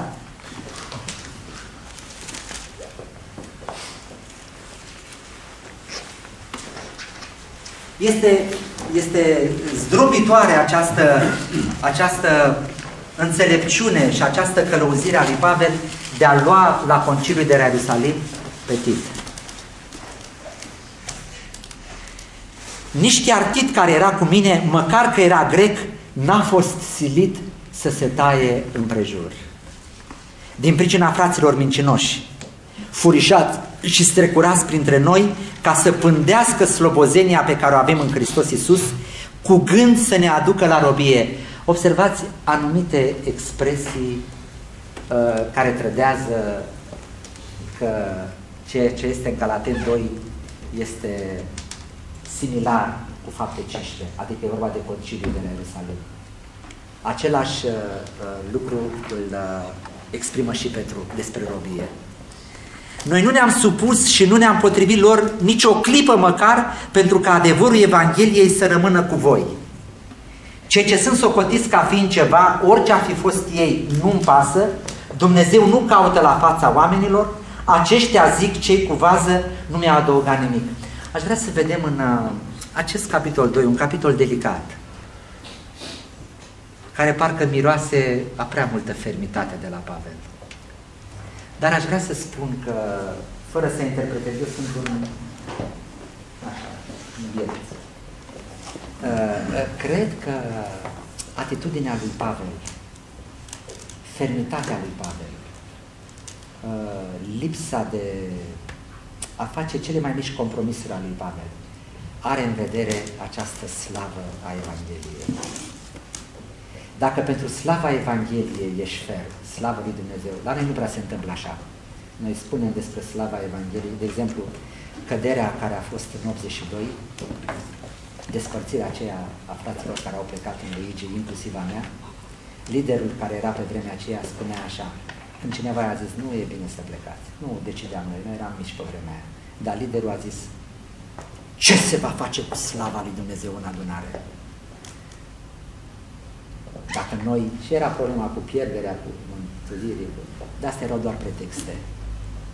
În spate, fratele nu se cunoștea și frații nu se cunoșteau și nici noi nu ne cunoașteam.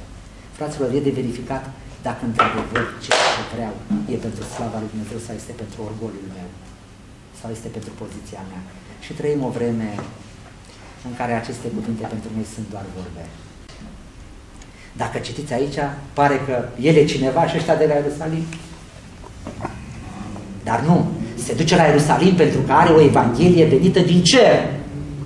Și pentru că la Ierusalim lucrurile sunt un pic încurcate, se smerește și discută cu ei, dar se ține foarte tare de Evanghelia lui. Și nu face niciun pas. Și o să vedeți mai jos cu Petru. Nu acceptă nimic, măcar că acolo era, era crema, erau 12, el era singur, cu Barnaba și cu Tit. Acolo erau cei 12 apostoli ai mielului. Oricine ar fi ei, Dumnezeu nu caută la fața omului. O ține pe a lui dreaptă Evanghelia Domnului Isus Hristos. Și sigur că Dumnezeu lucrează frumos și frații de la Ierusalim și de și smeriți și având aceeași călăuzire și același duc, așa cum s-a observat, zice, frate Pavel, Domnul să te binecuvânteze. E bine, suntem de acord, vestim aceeași Evanghelie. Nici nu se putea altfel. El a primit-o direct din cer, ei au primit-o de la Domnul Isus prin Duhul Sfânt al lui Dumnezeu, nu se putea să nu fie aceeași Evanghelie.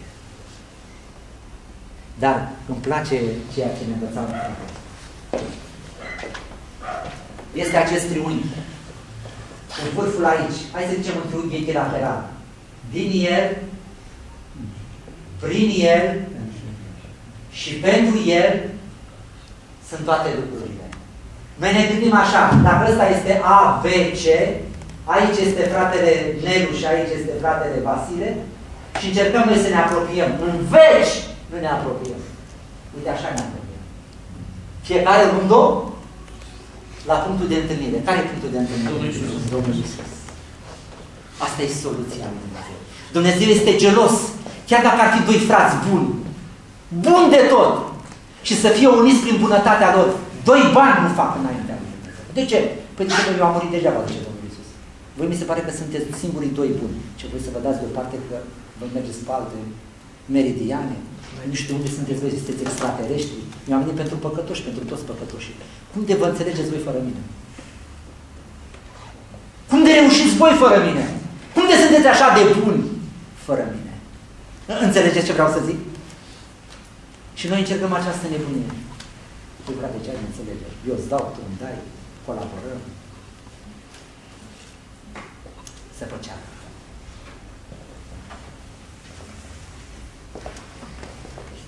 Așa. Aceștia zic, ei cei cu vază nu mi-au adăugat nimic.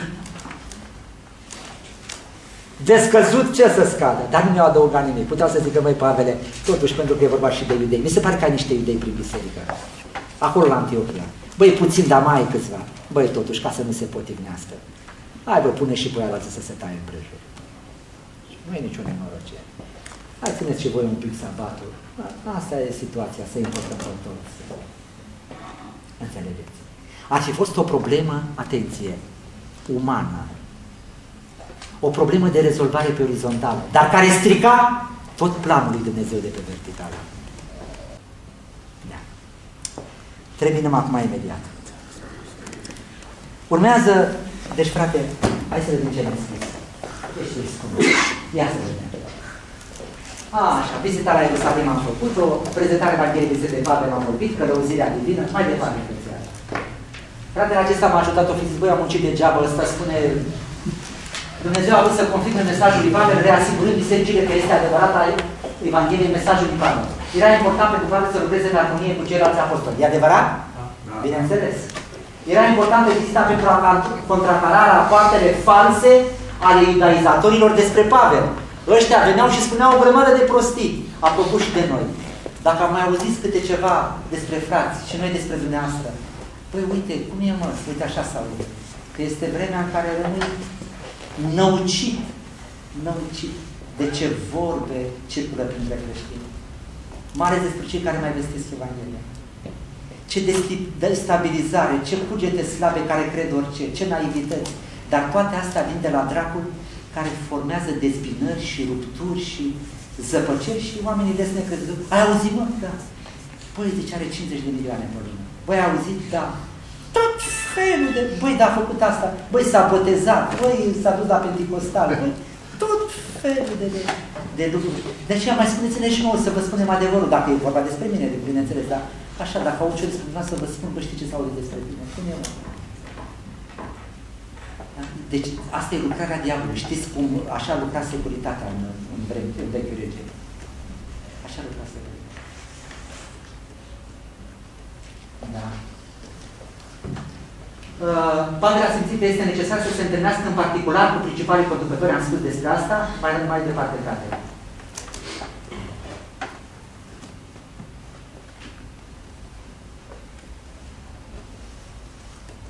Așa, este recunoașterea, uh, asta despre asta am vorbit, este, mă rog, ispravnicul, așa ca o denumire despre care am vorbit, cel care a lucrat.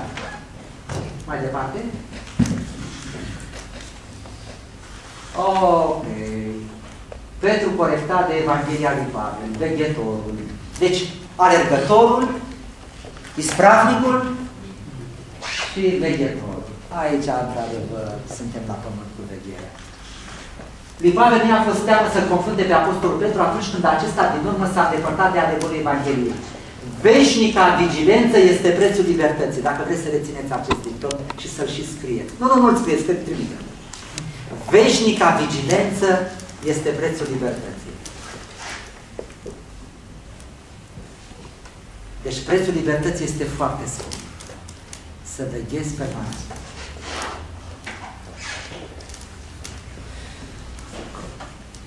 Distrugătorul. Versetul 14 până la 21. Iisus a distrus legea împlinind-o. Deci aici când se referă la distrugătorul, înțelegeți că este vorba de sensul pozitiv. Da? Moartea lui a rupt perdeaua templului și a dărâmat zidul dintre evrei și neamuri. A te întoarce la Moise înseamnă a reconstrui ceea ce Iisus a dărâmat și a spune că El nu ne-a salvat cu adevărat atunci când ne-am crezut în El. Wakefield și Wesley pot predica Evanghelia mai bine decât mine, dar nu pot predica o Evanghelie mai bună. Ați înțeles diferența? Mai bine decât mine, dar nu o Evanghelie mai bună. Este una singură. Apropo de Whitfield, a, ați citit toți 10 simpli și o cămașă? Toți? Nu. Toți, toți.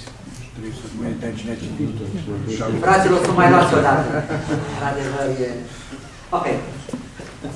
Așa. Vrei să dai mai departe frățioare? Ok. Greșeala lui Petru și mustrarea lui de către Pavel. Haideți să vedem un pic aici lucrurile.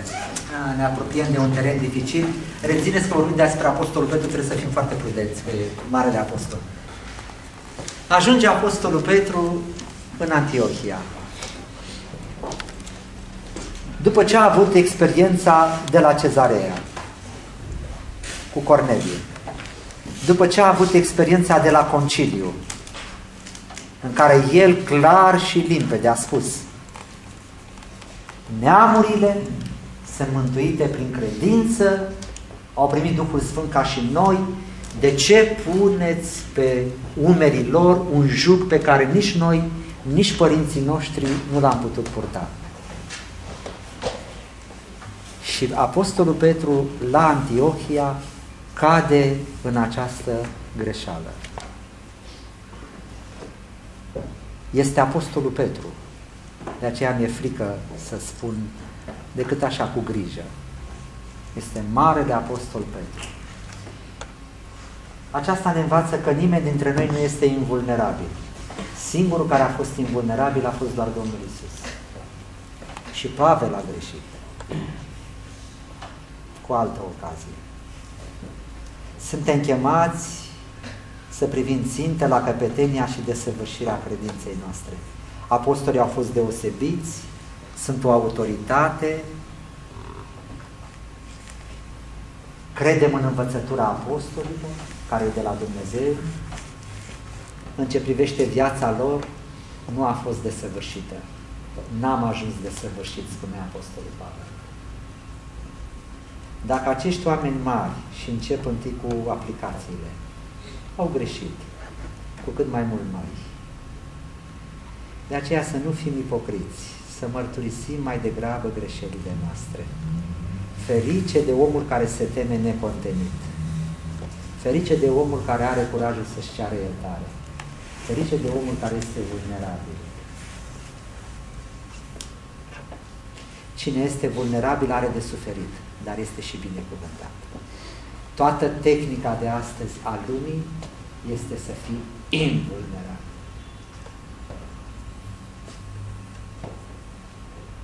Asta este minciuna în care trăiește lumea astăzi.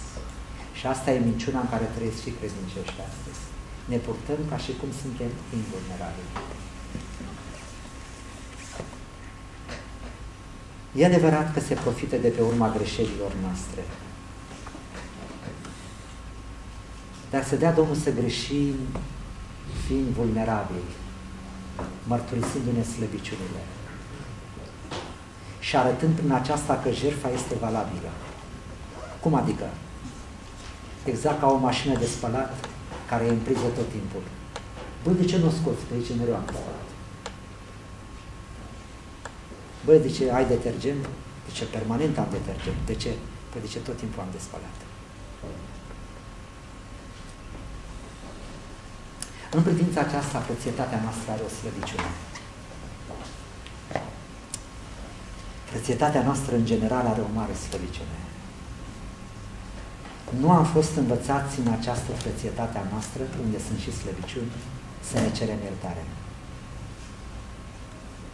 Nu s-a practicat în frățietatea noastră, în adunările de rugăciune, să auzi și glasul la individual care să zică Doamne Iisuse, ai milă de mine, am greșit, am păcătuit.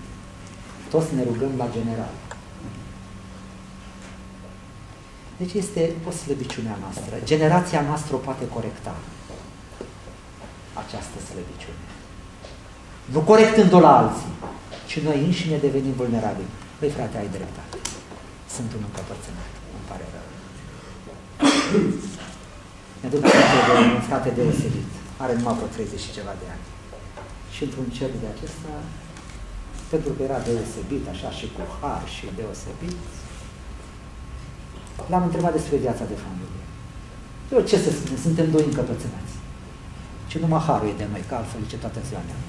Am rămas blocat. În două vorbe a spus tot. Deci asta e șansa noastră, să privim spre Domnul Iisus, că dacă ar fi așa, suntem. Ca zestre, ca genetică, ca, ca, ca.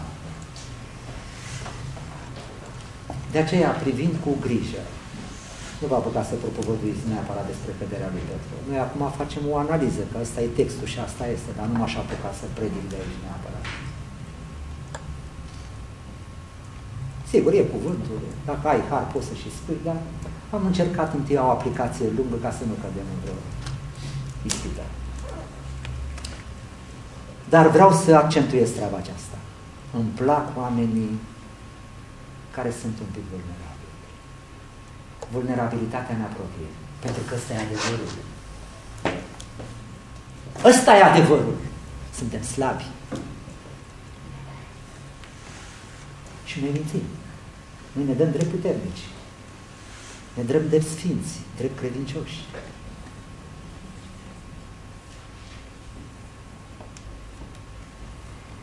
Credincioșii trebuie să fie oameni care să arate că trăiesc doar prin har. Pentru că, de fapt, asta e adevărul. Inclusiv Marele Pavel. Ăștia spun că era coleric, probabil, vorbesc de temperament. Că era puternic, probabil. Dar a fost vreunul mai smerit ca el? Cine ar fi curajul, a avut curajul la sfârșit să zică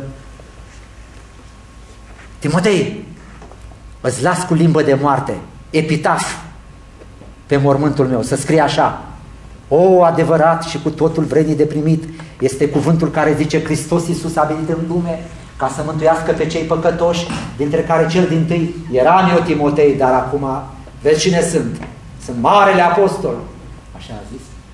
Sunt eu, nu pricep cât o-i trăi. Cum adică ești? Mă, ce ești până la urmă? Ești apostol sau ești păcătos? Nu ce sunt și apostol și păcătos. Păcătos nu că trăiește, că nu uită. Nu uită. Nu uită că este păcătos. Ce smerenie! Ce smerenie! Vulnerabil, nu? Zice, când am venit la voi tremuram, fricos, plin de cutremur, înțelepciunea și propovăduirea mea nu stăteau în învățăturile înduplecătoare ale științei, ci într-o dovadă dată de Duhul și de putere, pentru ca credința voastră să fie întemeiată nu pe înțelepciunea oamenilor, ci pe puterea lui Dumnezeu. Fraților, sunteți vulnerabili. Cine e vulnerabil de aici? Cine mare câteodată curajul să zică, băi frate, roagă-te și pentru mine. Cine are curaj?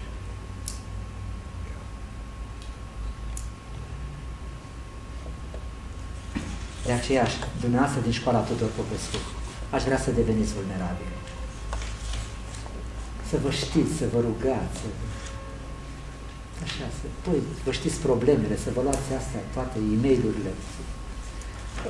Apropo, o problemă din test la mine va fi să scrieți pe toți cum îi cheamă. Este un test. Toți cum îi cheamă. Și de unde sunt și poate mai găsesc eu și vreo chichiță acolo. Ca și tu școli. Nu, nu sunt și tu școli. Și câte adrese avem acolo? Întâi să primim... De, de, de, deci a, asta va fi, a, asta va fi, se, o spun cu toată seriozitatea, se spune despre un profesor universitar, când a dat testul la ăștia de studenții de la medicină, în test a pus cum o cheamă pe, pe femeia de serviciu. Ei au rămas uluiți. Nu, nu vă e rușine, treceți pe lângă dânsă, nu știți cum o cheamă? El când o vedea, să rămână, Doamne. Dita mai profesor universitar. Și când vede toate, Asta este ipocrizie. Ipocrizia se spune că este de două feluri. Ascultați. Ipocrizia este să te dai cine nu ești și al doilea pare că este un pic mai greu de digerat. Să nu te dai cine ești. El era un credincios slobod, dar nu s-a arătat așa. El s-a arătat un credincios legalist. Înțelegeți? Nu s-a arătat cine este în adevăr. S-a ascuns. Tot ipocrizie este. În general, ipocrizia este marcată de primul sens. Băi, te dai cine nu ești. Te dai, te arăți cine nu ești. Te arăți că ești deștept, nu prea ești, te arăți că ești eu, bogat, nu prea ești. Eu, prefăcuți. Dar există o prefacere și de genul acesta, care l-a caracterizat pe Petru. Petru era un om credincios, era un om al Harului, era un om care înțelesese foarte clar cum e cu neamurile. A spus-o clar la conciliu, a spus-o clar în casa lui Corneliu. Văd că Dumnezeu nu e părtinitor și în orice neam, oricine lucrează neprihănire este primit de el. Și s-a prefăcut. Cum s-a prefăcut? A arătat altceva decât era în sensul acesta. Nu s-a arătat cine este. Gândiți-vă și la această ipocrizie. De câte ori nu întâlnim generațiile cu oameni din lume, ești credincios, dar te dai ca și cum n-ai fi. Într-o discuție cu cineva, într-o... Când se întâmplă treaba aceasta? Când se întâmplă să te dai, să te dai altul decât ești? Ăsta e aspectul, înțelegeți? Aspectul uh, negativ, adică bine ar fi să spui ce ești. În general, tendința este minciuna. Nu sunt ceea ce parcă sunt. Atunci când intervine frica de oameni. Frica de oameni mă face să mă ascund cine sunt în adevăr. Frica de oameni mă face să mă ascund cine sunt în adevăr. Fie că e vorba de relații de familie, relații între frați. Ți-e frică. Ai spune corect ce este. Dar asta înseamnă că se creează probleme. Ai spune adevărul. Da, înseamnă să aibă tăie. Da, spui mai bine. Da, Lași. Mai bine o dau cotită. Mai bine mă prefac. Cineva și imagina cam așa, s-a pus mâncarea, au apărut ăștia iudaizatorii și pe Petru face că îl doare stomacul. Păi ce să Păi ce știu ce nu mai pot. și se retrage, să comenta cineva. Și vine Pavel și zice, voi, lasă cu povestea asta. ce crezi că te doare stomacul, lasă-ne cu treaba asta, alta e problema. Exagera un pic ca să sugereze uh, imaginea. Deci ipocrizie. Ipocrizia să nu te arăți cine ești în adevăr. Băi, asta e opinia mea, dar o dau cotită, zic și eu ca el. Băi, asta e înțelegerea mea. Da? Lasă așa că îmi pun pe cap și nu mai urc și cap și asta. Da, bă, da, Lașitate. Lașitate. Dar cât despre lași sunt primii pe lista către iad. Nu vă vine să credeți. Pe lista către iad nu sunt nici curvarii primii, nici criminalii primii, nici Hitler primul, nici Stalin, nici... Pe lista către iad sunt lașii, adică acelora care le-a fost frică să se întoarcă la Dumnezeu, că se supără Georgescu, că se supără Vasilescu, că se supără Necasta. Frica de oameni este o cursă și fratele nostru Petru a căzut în ea. Fratele Petru a avut așa ca structură un temperament năvalnic. Când pe val, când în adânc. Aveți probleme de felul acesta? Ca structură sufletească? Aveți?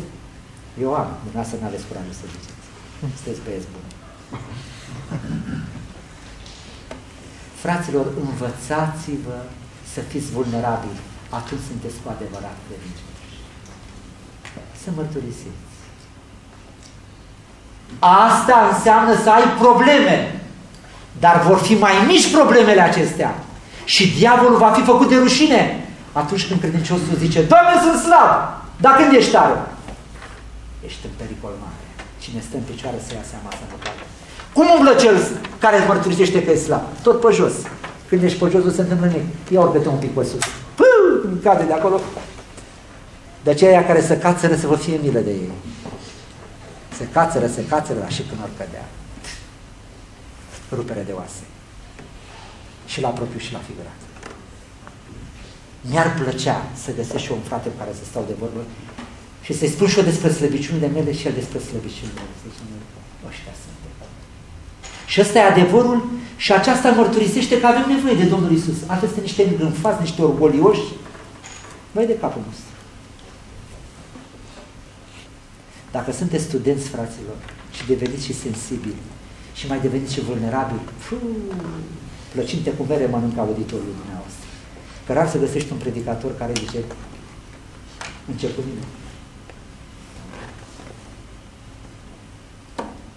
Și este și o metodă, iertați-mă că spun americană, dar niciodată românească. Nu vorbesc, dar așa, sunt unii predicatori americani care încep să spună despre slăbiciunea lor.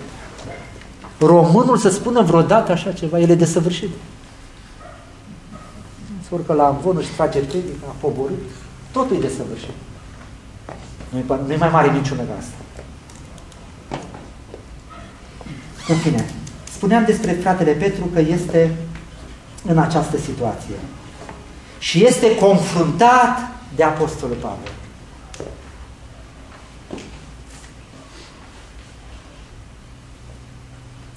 Tu care ești,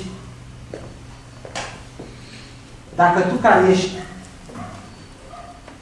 când i-am văzut eu că nu umblă drept după adevărul Evangheliei, am spus lui Chifa în fața tuturor, săracul de el, tot de el s-a legat. Nu făcuse numai el, dar să luaseră după el. Și Barnaba și alți iudei. Observați, era și reprezentativ, nu? De aceea mare grijă. Mare grijă așa, sunteți și dumneavoastră, poate prin adunare, nu într-o anumită poziție, să ia oamenii după voi. Să lua și când s-a dus să prindă pește. și când se lasă prinde pește, da.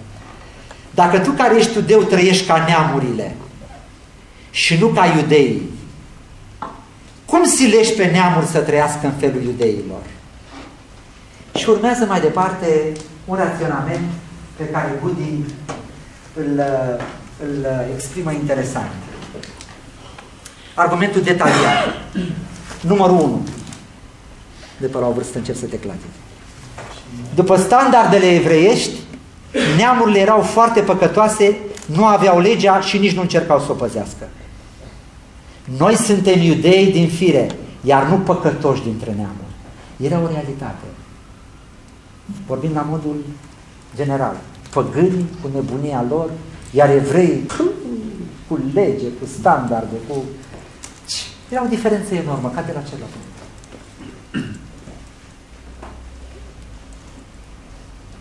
Dar noi iudeii ne-am dat seama că nicio creatură, nicio ființă umană, fie iudeu, fie grec, nu poate fi socotit neprihănit prin faptele legii. Asta e al doilea punct. Al treilea punct. În consecință, chiar și noi, iudeii, ne-am pus încrederea numai în Hristos, iar nu în faptele legii, ca să fim îndreptățiți sau justificați. Și acum punctul interesant. Dacă credința în Hristos i-ar fi lăsat chiar și pe credincioșii evrei să fie expuși mâniei lui Dumnezeu și ar fi trebuit să țină legea ca să scape de condamnare și să câștige acceptarea din partea lui Dumnezeu, atunci Hristos n-ar mai fi fost mântuitor. Sau cum este expresia de aici, este Hristos un slujitor al păcatului? Nici de cum. Nici de cum. Deci, am făcut această citire a lui Budin ca să înțelegem un pic lucrurile. Hai să le repetăm. Deci, iudeii cred, au înțeles, Domnul, știm că prin faptele legii nu este nicio mântuire. Credem în Domnul Isus Hristos. Dar, credința asta, vorbesc la modul abstract acum, credința aceasta în Domnul Isus nu ne-a adus mântuire. Nu ne-a adus pace, deci vorbesc la modul abstract, la modul exagerat. Păi, cred că ar fi nevoie să ținem legea. Dacă așa ar fi fost lucrurile, înseamnă că atunci Domnul Isus n-ar fi slujit la nimic. Hristos slujitor al păcatului? Nici de cum. I-ar fi lăsat pe oamenii în starea în care i-a găsit păcătoși, pierduți și condamnați. Hristos ar fi fost deci un slujitor al păcatului. Implicațiile comportamentului lui Petru erau scandaloase. Noi toți ne-am pus încrederea în Hristos ca să fim mântuiți. Dar dacă într-adevăr vreau să fiu primit în fața lui Dumnezeu și să scap de condamnarea legii, pe lângă faptul că am crezut în Hristos, trebuie să împlinesc faptele legii. Așa s-a purtat Petru. Petru, făcând un pas înapoi și neavând părtășie cu neamurile, Petru stabilea prin acest comportament că este o deosebire între iudei și greci. Că grecii sunt cei netăiați împrejur. Că grecii ar trebui și ei să se taie împrejur ca să poată să aibă părtășie unii cu alții. Este ideea aplicativă pentru noi să nu faci o deosebire și este în Galateni, o să citiți mai departe spre sfârșit, În Hristos nu este nici iudeu, nici grec, nici tăiere împrejur, nici netăiere împrejur, uh, nici parte bărbătească, nici parte femeiască, ci Hristos este totul. Sau toți sunt una în Hristos. Hristos este totul, se spune în Coloseni. Deci, fraților, la modul foarte aplicativ, vorbesc acum de o aplicație morală. Aplicația morală este aceasta. Facem noi deosebire unii între alții, între noi? Facem deosebire? Facem. Toată ziua. Religia asta e la facultate, asta nu mai știu. Păi dacă te uiți la scrisul ăsta, săracul, ca să Noi, uh, acesta e din zona aceea. Deci, când ne uităm unii la alții, suntem de plâns. Vorbesc acum la modul aplicat. Vă dați seama ce ar însemna ca să trăim umpluți de această slava Domnului Isus și de meritele Lui și de moștenirea Lui și de care într-un mod real ne-a așezat într-o asemenea poziție încât El la masa aceea vestită pascală nu putem să realizăm, a luat un bilion ca să spere picioarele la tății. Deci vă dați seama cât de departe suntem noi ca trăire. Voi m-am urcat în avion, nu te urcat niciodată. Voi eu am mers în America, eu am bar mai de Voi eu sunt... Și astea nu sunt lucruri pe care le spun eu, pe care le procesez. Am încercat o aplicație. Ascultați. Hai să lăsăm pe Julie. Începe aici uh, adevărul. Căci dacă zidesc iarăși lucrurile, versetul 18, pe care le-am stricat, mă arăt ca un călcător de lege. Și am folosit noi o imagine din Scriptură care este? Iericon. Care? Iericon. Fraților, ați fost foarte atenți. Thank you. Deci la Iericon era acest anatema. Nu mai trebuie zidit. Domnul Iisus vine și împlinește legea. Împlinește legea. Cum o împlinește? A fost singurul care a ascultat în totul de lege. Și apoi am mai împlinit într-un fel legea. Cum am mai împlinit legea? Am împlinit legea de două ori. Prima dată cum am împlinit-o? Ascultând. Ascultând. Și a doua oară? Fiind condamnat de lege. Domnul Hristos a murit condamnat de lege. Nu zice că a murit condamnat de Pilat, e adevărat. A murit ăsta, uh, acuzat de preoții cei mai de seamă. A avut două culpe. Culpa că este Fiul lui Dumnezeu, asta era vina lui religioasă, și culpa că este împărat, asta era culpa lui civilă. Pentru asta a murit. Astea sunt doar lucrurile pe orizontală. Esențialmente, Domnul Hristos a murit din pricina legii. A fost condamnat de lege. De ce a fost condamnat de lege? Pentru că de ce? Pentru păcatele noastre. Păcatele noastre cereau just, ăsta, ca legea lui Dumnezeu să acționeze și legea a fost cruntă, dreaptă, sfântă și l-a condamnat fără milă, pentru că s-a făcut păcat pentru noi. Legea condamnă păcatul. Deci Domnul Hristos a murit condamnat de lege. Aș vrea să rețineți treaba aceasta. Asta este foarte important. Și a murit condamnat de lege, dar vedeți ce paradox? El a împlinit legea, trebuia să fie felicitat și în același timp el a murit condamnat pentru că a luat asupra lui toate neascultările noastre de lege, de legea lui Dumnezeu. Dacă zidesc iarăși lucrurile care au fost dărâmate, folosesc iarăși imaginea Ericonului. A fost dărâmat, a fost blestemat și a zis, dacă cineva mai îndrăznește, este blestemat. Și spune cum, de ce este blestemat? Să pună temelia cu prețul întâiului născut și porțile cu prețul ultimului născut. Nu mai avem voie să zidim iarăși.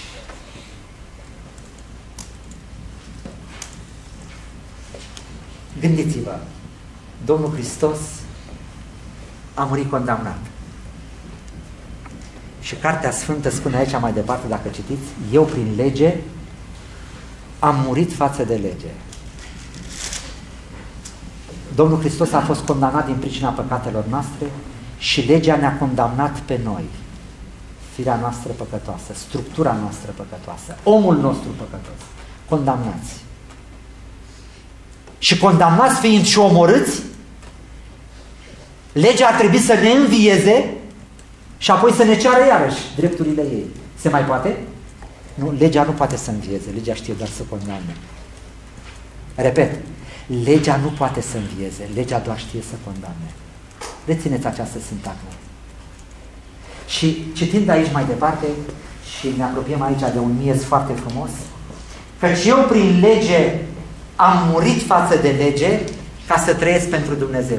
Ca să puteți înțelege lucrurile, hai să deschidem la Roman 7.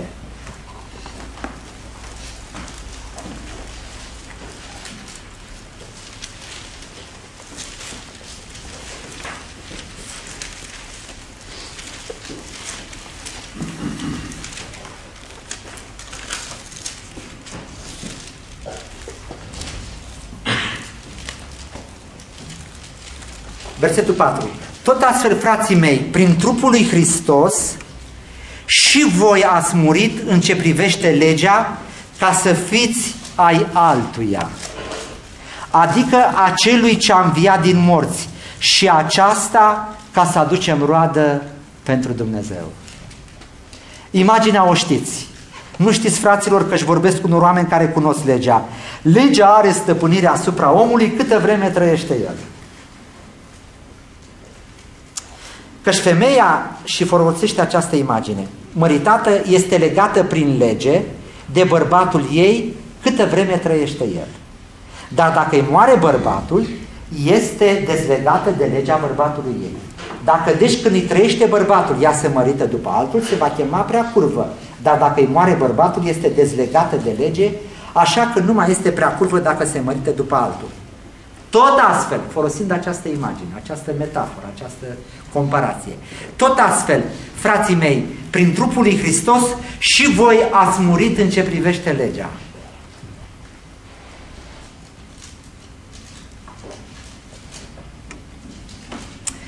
Cum era explicația? Sau nu cum era explicația? Cum era comparația? Comparația era aceasta. O femeie are un bărbat. Dacă îi moare bărbatul, este liberă. Dacă în timp ce îi trăiește bărbatul, se gândește să rupă legătura cu el ca să trăiască cu altcineva, ea curvește. Aplicația este un pic schimbată, ați sezizat. Cum este aplicația? Tot astfel, frații mei, nu mai sunteți cum sunteți deja obosiți. Tot astfel, frații mei, prin trupul lui Hristos și voi ați murit în ce privește legea. Comparația era moare bărbatul. Bărbatul și în legea. Eu sunt liber. În aplicație lucrurile nu sunt așa. Legea nu moare. Eu mor față de lege. Înțelegeți? Deci în comparație moare legea, eu sunt liber. Moare bărbatul. Bărbatul și în legea. Eu sunt femeia, sunt liber. Pot să mă căsătoresc cu altcineva. În aspectul spiritual este invers. Nu moare bărbatul. Mor eu. Nu mă ating de lege. Legea e lege. Legea. Eu, eu mor față de lege. Legea nu mai are ce să-mi facă. Nu? Dacă e cineva dator și a murit. Și vin ăștia. Voi zice, trebuie să plătească, voi ce avem o veste proastă care ceva a murit. A terminat. Cu cecuri, cu datorii, cu Ceea ce am pierdut. Nu, dacă am murit. Du-te și cere. Înțelegeți? Tot așa. Nu mai avem nicio datorie față de lege. Am murit față de lege. Astea sunt lucruri pe care trebuie să le înțelegem, dar acestea sunt lucruri pe care trebuie să le trăim și să le aplicăm. Știți ce înseamnă să mor față de lege? Moartea față de lege este bună și aici cuvântul explică așa, spiritual, dar moartea față de lege nu e doar moartea față de lege, este și moartea față de noi înșine. Asta e dureroasă. Înțelegeți? În aceeași moarte de pe cruce, nu este doar moartea față de lege, este și moartea față de lume, Roman 6 cu 14. Cât despre mine, fraților, departe de mine gândul să mă laud cu altceva decât cu crucea Domnului nostru Isus Hristos, prin care lumea este răstignită față de mine și o față de lume. Acum, omul acesta care era un om atât de smerit și de luminat la cap, el considera că este să te lauzi cu așa ceva. Pentru noi mort față de lume e dureros de nu mai știm de noi, nu? Ce băi, aș vrea și eu filmul ăsta, aș vrea și eu mașina asta, aș vrea și eu, aș vrea și eu, aș vrea și eu. Înțelegeți? Înțelegeți? Adevărul este acesta, îl trăiesc, îl accept, înseamnă suferință. Dar să știți că și mor față de lege este foarte dureros. Pentru că legea nu este doar aceea care îmi cere. Legea este și aceea care câteodată mă îndreptățește. Nu aplicați dumneavoastră legea? Ori dumneavoastră nu aplicați niciodată. Greșește cineva să te Fuuu, imediat, spus fără dragoste. imediat aplici legea. Țângăr l-ai făcut. Și cuvântul zice, băi, păi ești mort față de lege. E, nu. Mort față de lege, păi pierd, pierd tot. Să trăiești în spiritul Harului. Să trăiești în spiritul Harului. Deși, repet, conotația de aici este în primul rând o mare binecuvântare. Să nu ți se mai ceară nimic. Voi zice să fii neprihănit și tu spui, da, zice, în Domnul Hristos sunt neprihănit. Câtă smerenie să poți să spui, în Domnul Hristos sunt neprihănit. Câtă smerenie să poți să spui, în Domnul Hristos sunt iertat. Câtă smerenie este să poți să spui, în Domnul Hristos am totul de plin. Băi, nu nimic de capul tău. Da, băi, e adevărat, am totul de plin în Domnul Hristos. Cum zicea odată Iacov acesta, nu? după ce l-a ciuculit bine în îngerul la toată noaptea, ce haine rupte, ce, ce trebuie să fi fost acolo. A fost o luptă fizică, vă dați seama. Când n-a mai putut ia și oasele, nu mai putea să meargă șchiop. Și la sfârșit, la sfârșit zice, nu te las până nu mă vei binecuvânta. Și mă aștepți binecuvântare și spun să scap, că deja mi-a rupt oasele. Înțelegeți paradoxul? Deci nu te las până nu mă vei binecuvânta. Ce bine a înțeles Iacov. Voi zice, după zdrobire urmează binecuvântare. Eu aș fi zis, domnule, cum să scap mai repede? Du-te și lasă-mă, mai dai până și în partea asta. De, de piciorul ăsta și în șchiu, mai dai până și aici, mai... Lasă-mă, bine că am scăpat. Nu te las până nu mă vei binecuvânta. Și îl vezi că pleacă așa și o întâc și o întâc săracul, părul vâlvoi, cu hainele rupte, cum o fi fost. Și se apropie și el de tabără și ea se uită și nu mai recunosc, nu? Și o întâc și o întâc. Dă seama, Ditama Iacov, cine era ăsta. Ce s-a întâmplat?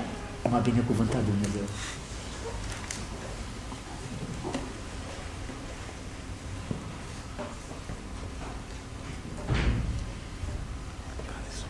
Deci, hai să vedem mai departe.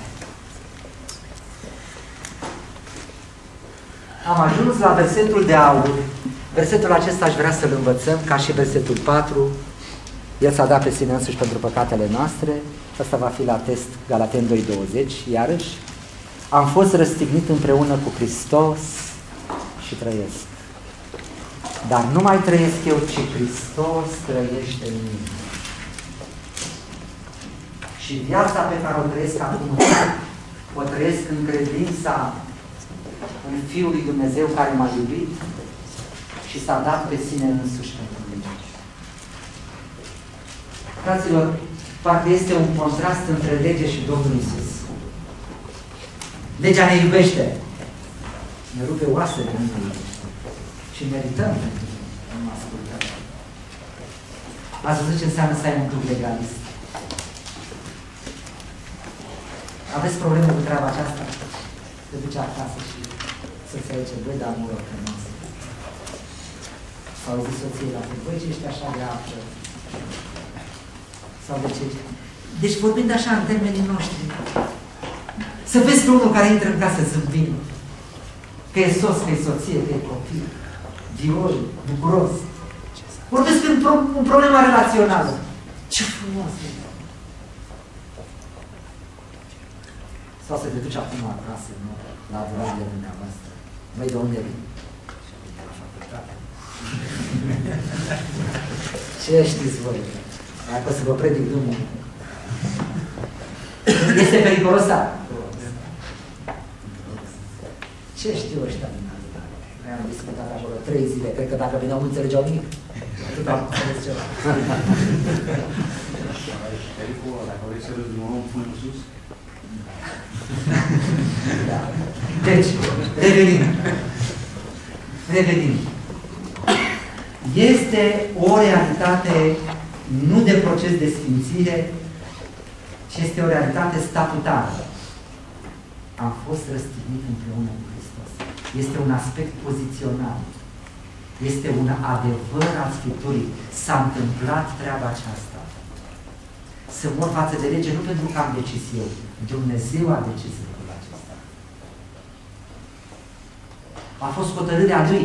Dacă legea ar fi în picioare, nimeni n-ar ajunge în cer. Exclus să ajungă cineva în cer. Pentru că legea e treaptă, dar acum când ai murit, cine se mai dă murit? Păi, de ce te-am omorât odată? Ce nu de ajuns? Gata, s-a terminat, s-a încheiat.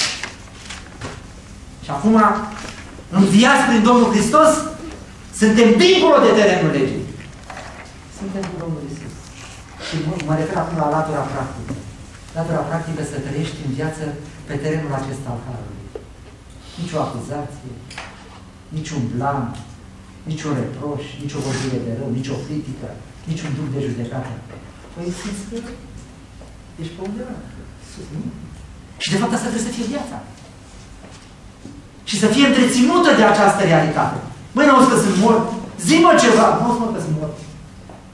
Cum zicea unul, hai să jucăm și niște cărți. Și aici o zice, zice, și ea că te ce mi e sănătos dacă am ce nu mai sunt mâinile de ce mă să-l întreb, ce să... Păi dacă nu mai sunt ale mele, nu facem aici o... Nu știu ce vrea aia acolo. Comparație de asta banală, dar sugestivă. Și mâinile nu mai sunt ale mele. Ochii nu mai sunt ai mei, timpul nu mai este al meu. Pare că e robie, suntem mai altuia, suntem cumpărați cu un preț. Dar de fapt asta e cea mai mare libertate. Slobozenia slavei copiilor E, noi trebuie să începem să credem, fraților, că se întâmplă așa. Pentru că dragul de și ne spune, băi, lăsească robie. Băi, aia, nu aia, nu aia, nu aia. Așa sună. Dar e minciună, că asta zice legea aia, nu aia, nu aia, nu. Înțelegeți? Și noi am scăpat de un șir de, de, de legi de asta. Și trăim în har. Haideți să vă dau o imagine ca să, puteți să, să putem să înțelegem. Era să zic să puteți să înțelegeți prin înțelegător.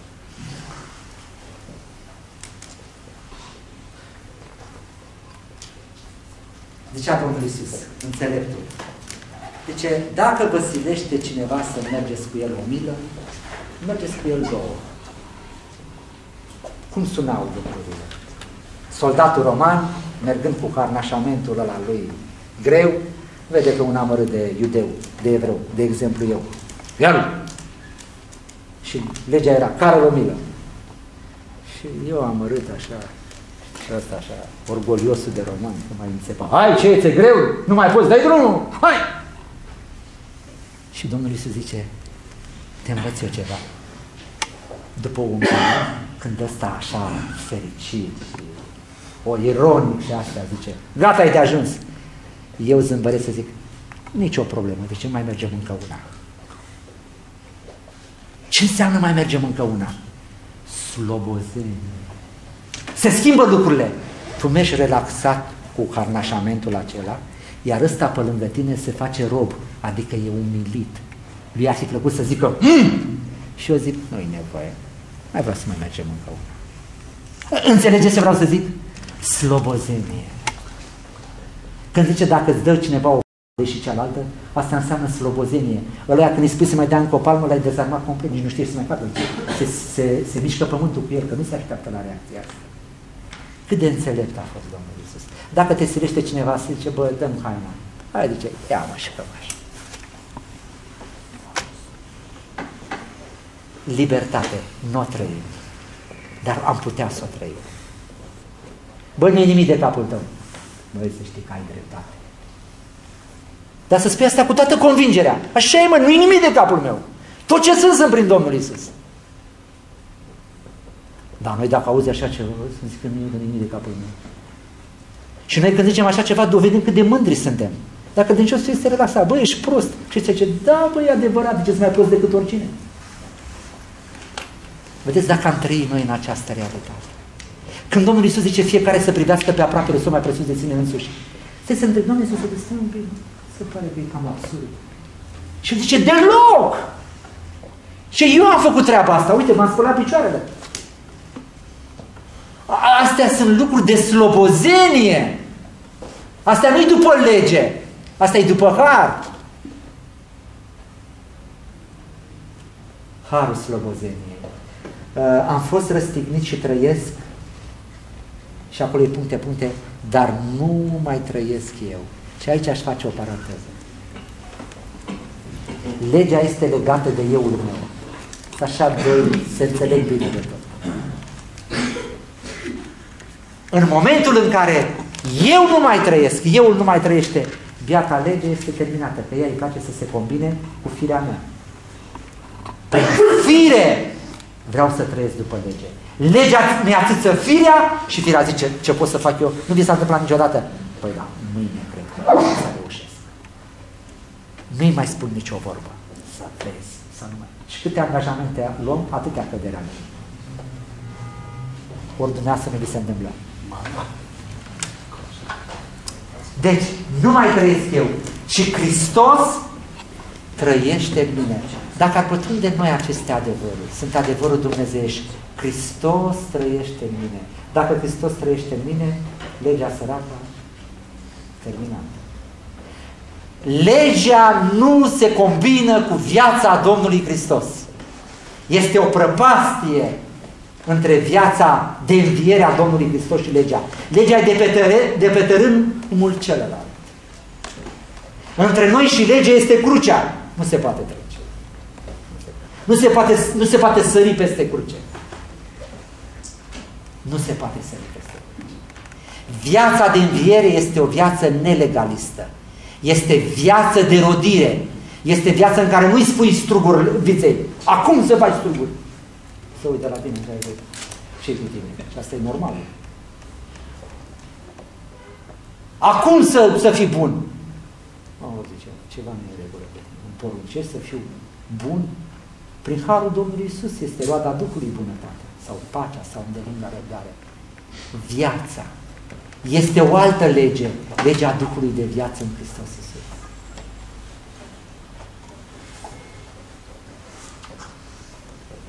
Și viața pe care o trăiesc acum în trup, zicea Pavel, o trăiesc în credința în Fiul lui Dumnezeu, terminăm imediat în 5 minute, care m-a iubit și s-a dat pe sine însuși pentru mine. Observați această viață nouă, ce, două ingrediente. Viața nouă prețuiește iubirea Domnului Isus. Cu ce se hrănește viața nouă? Cu această lege a dragostei. M-a iubit. O trăiesc în credința în Fiul lui Dumnezeu, cred în El pentru că m-a iubit. Și s-a dat pe sine însuși pentru mine. Sunt cele două mâncăruri pentru cel credincios. M-a iubit și s-a dat pe sine însuși pentru mine. De aceea am încredere în El.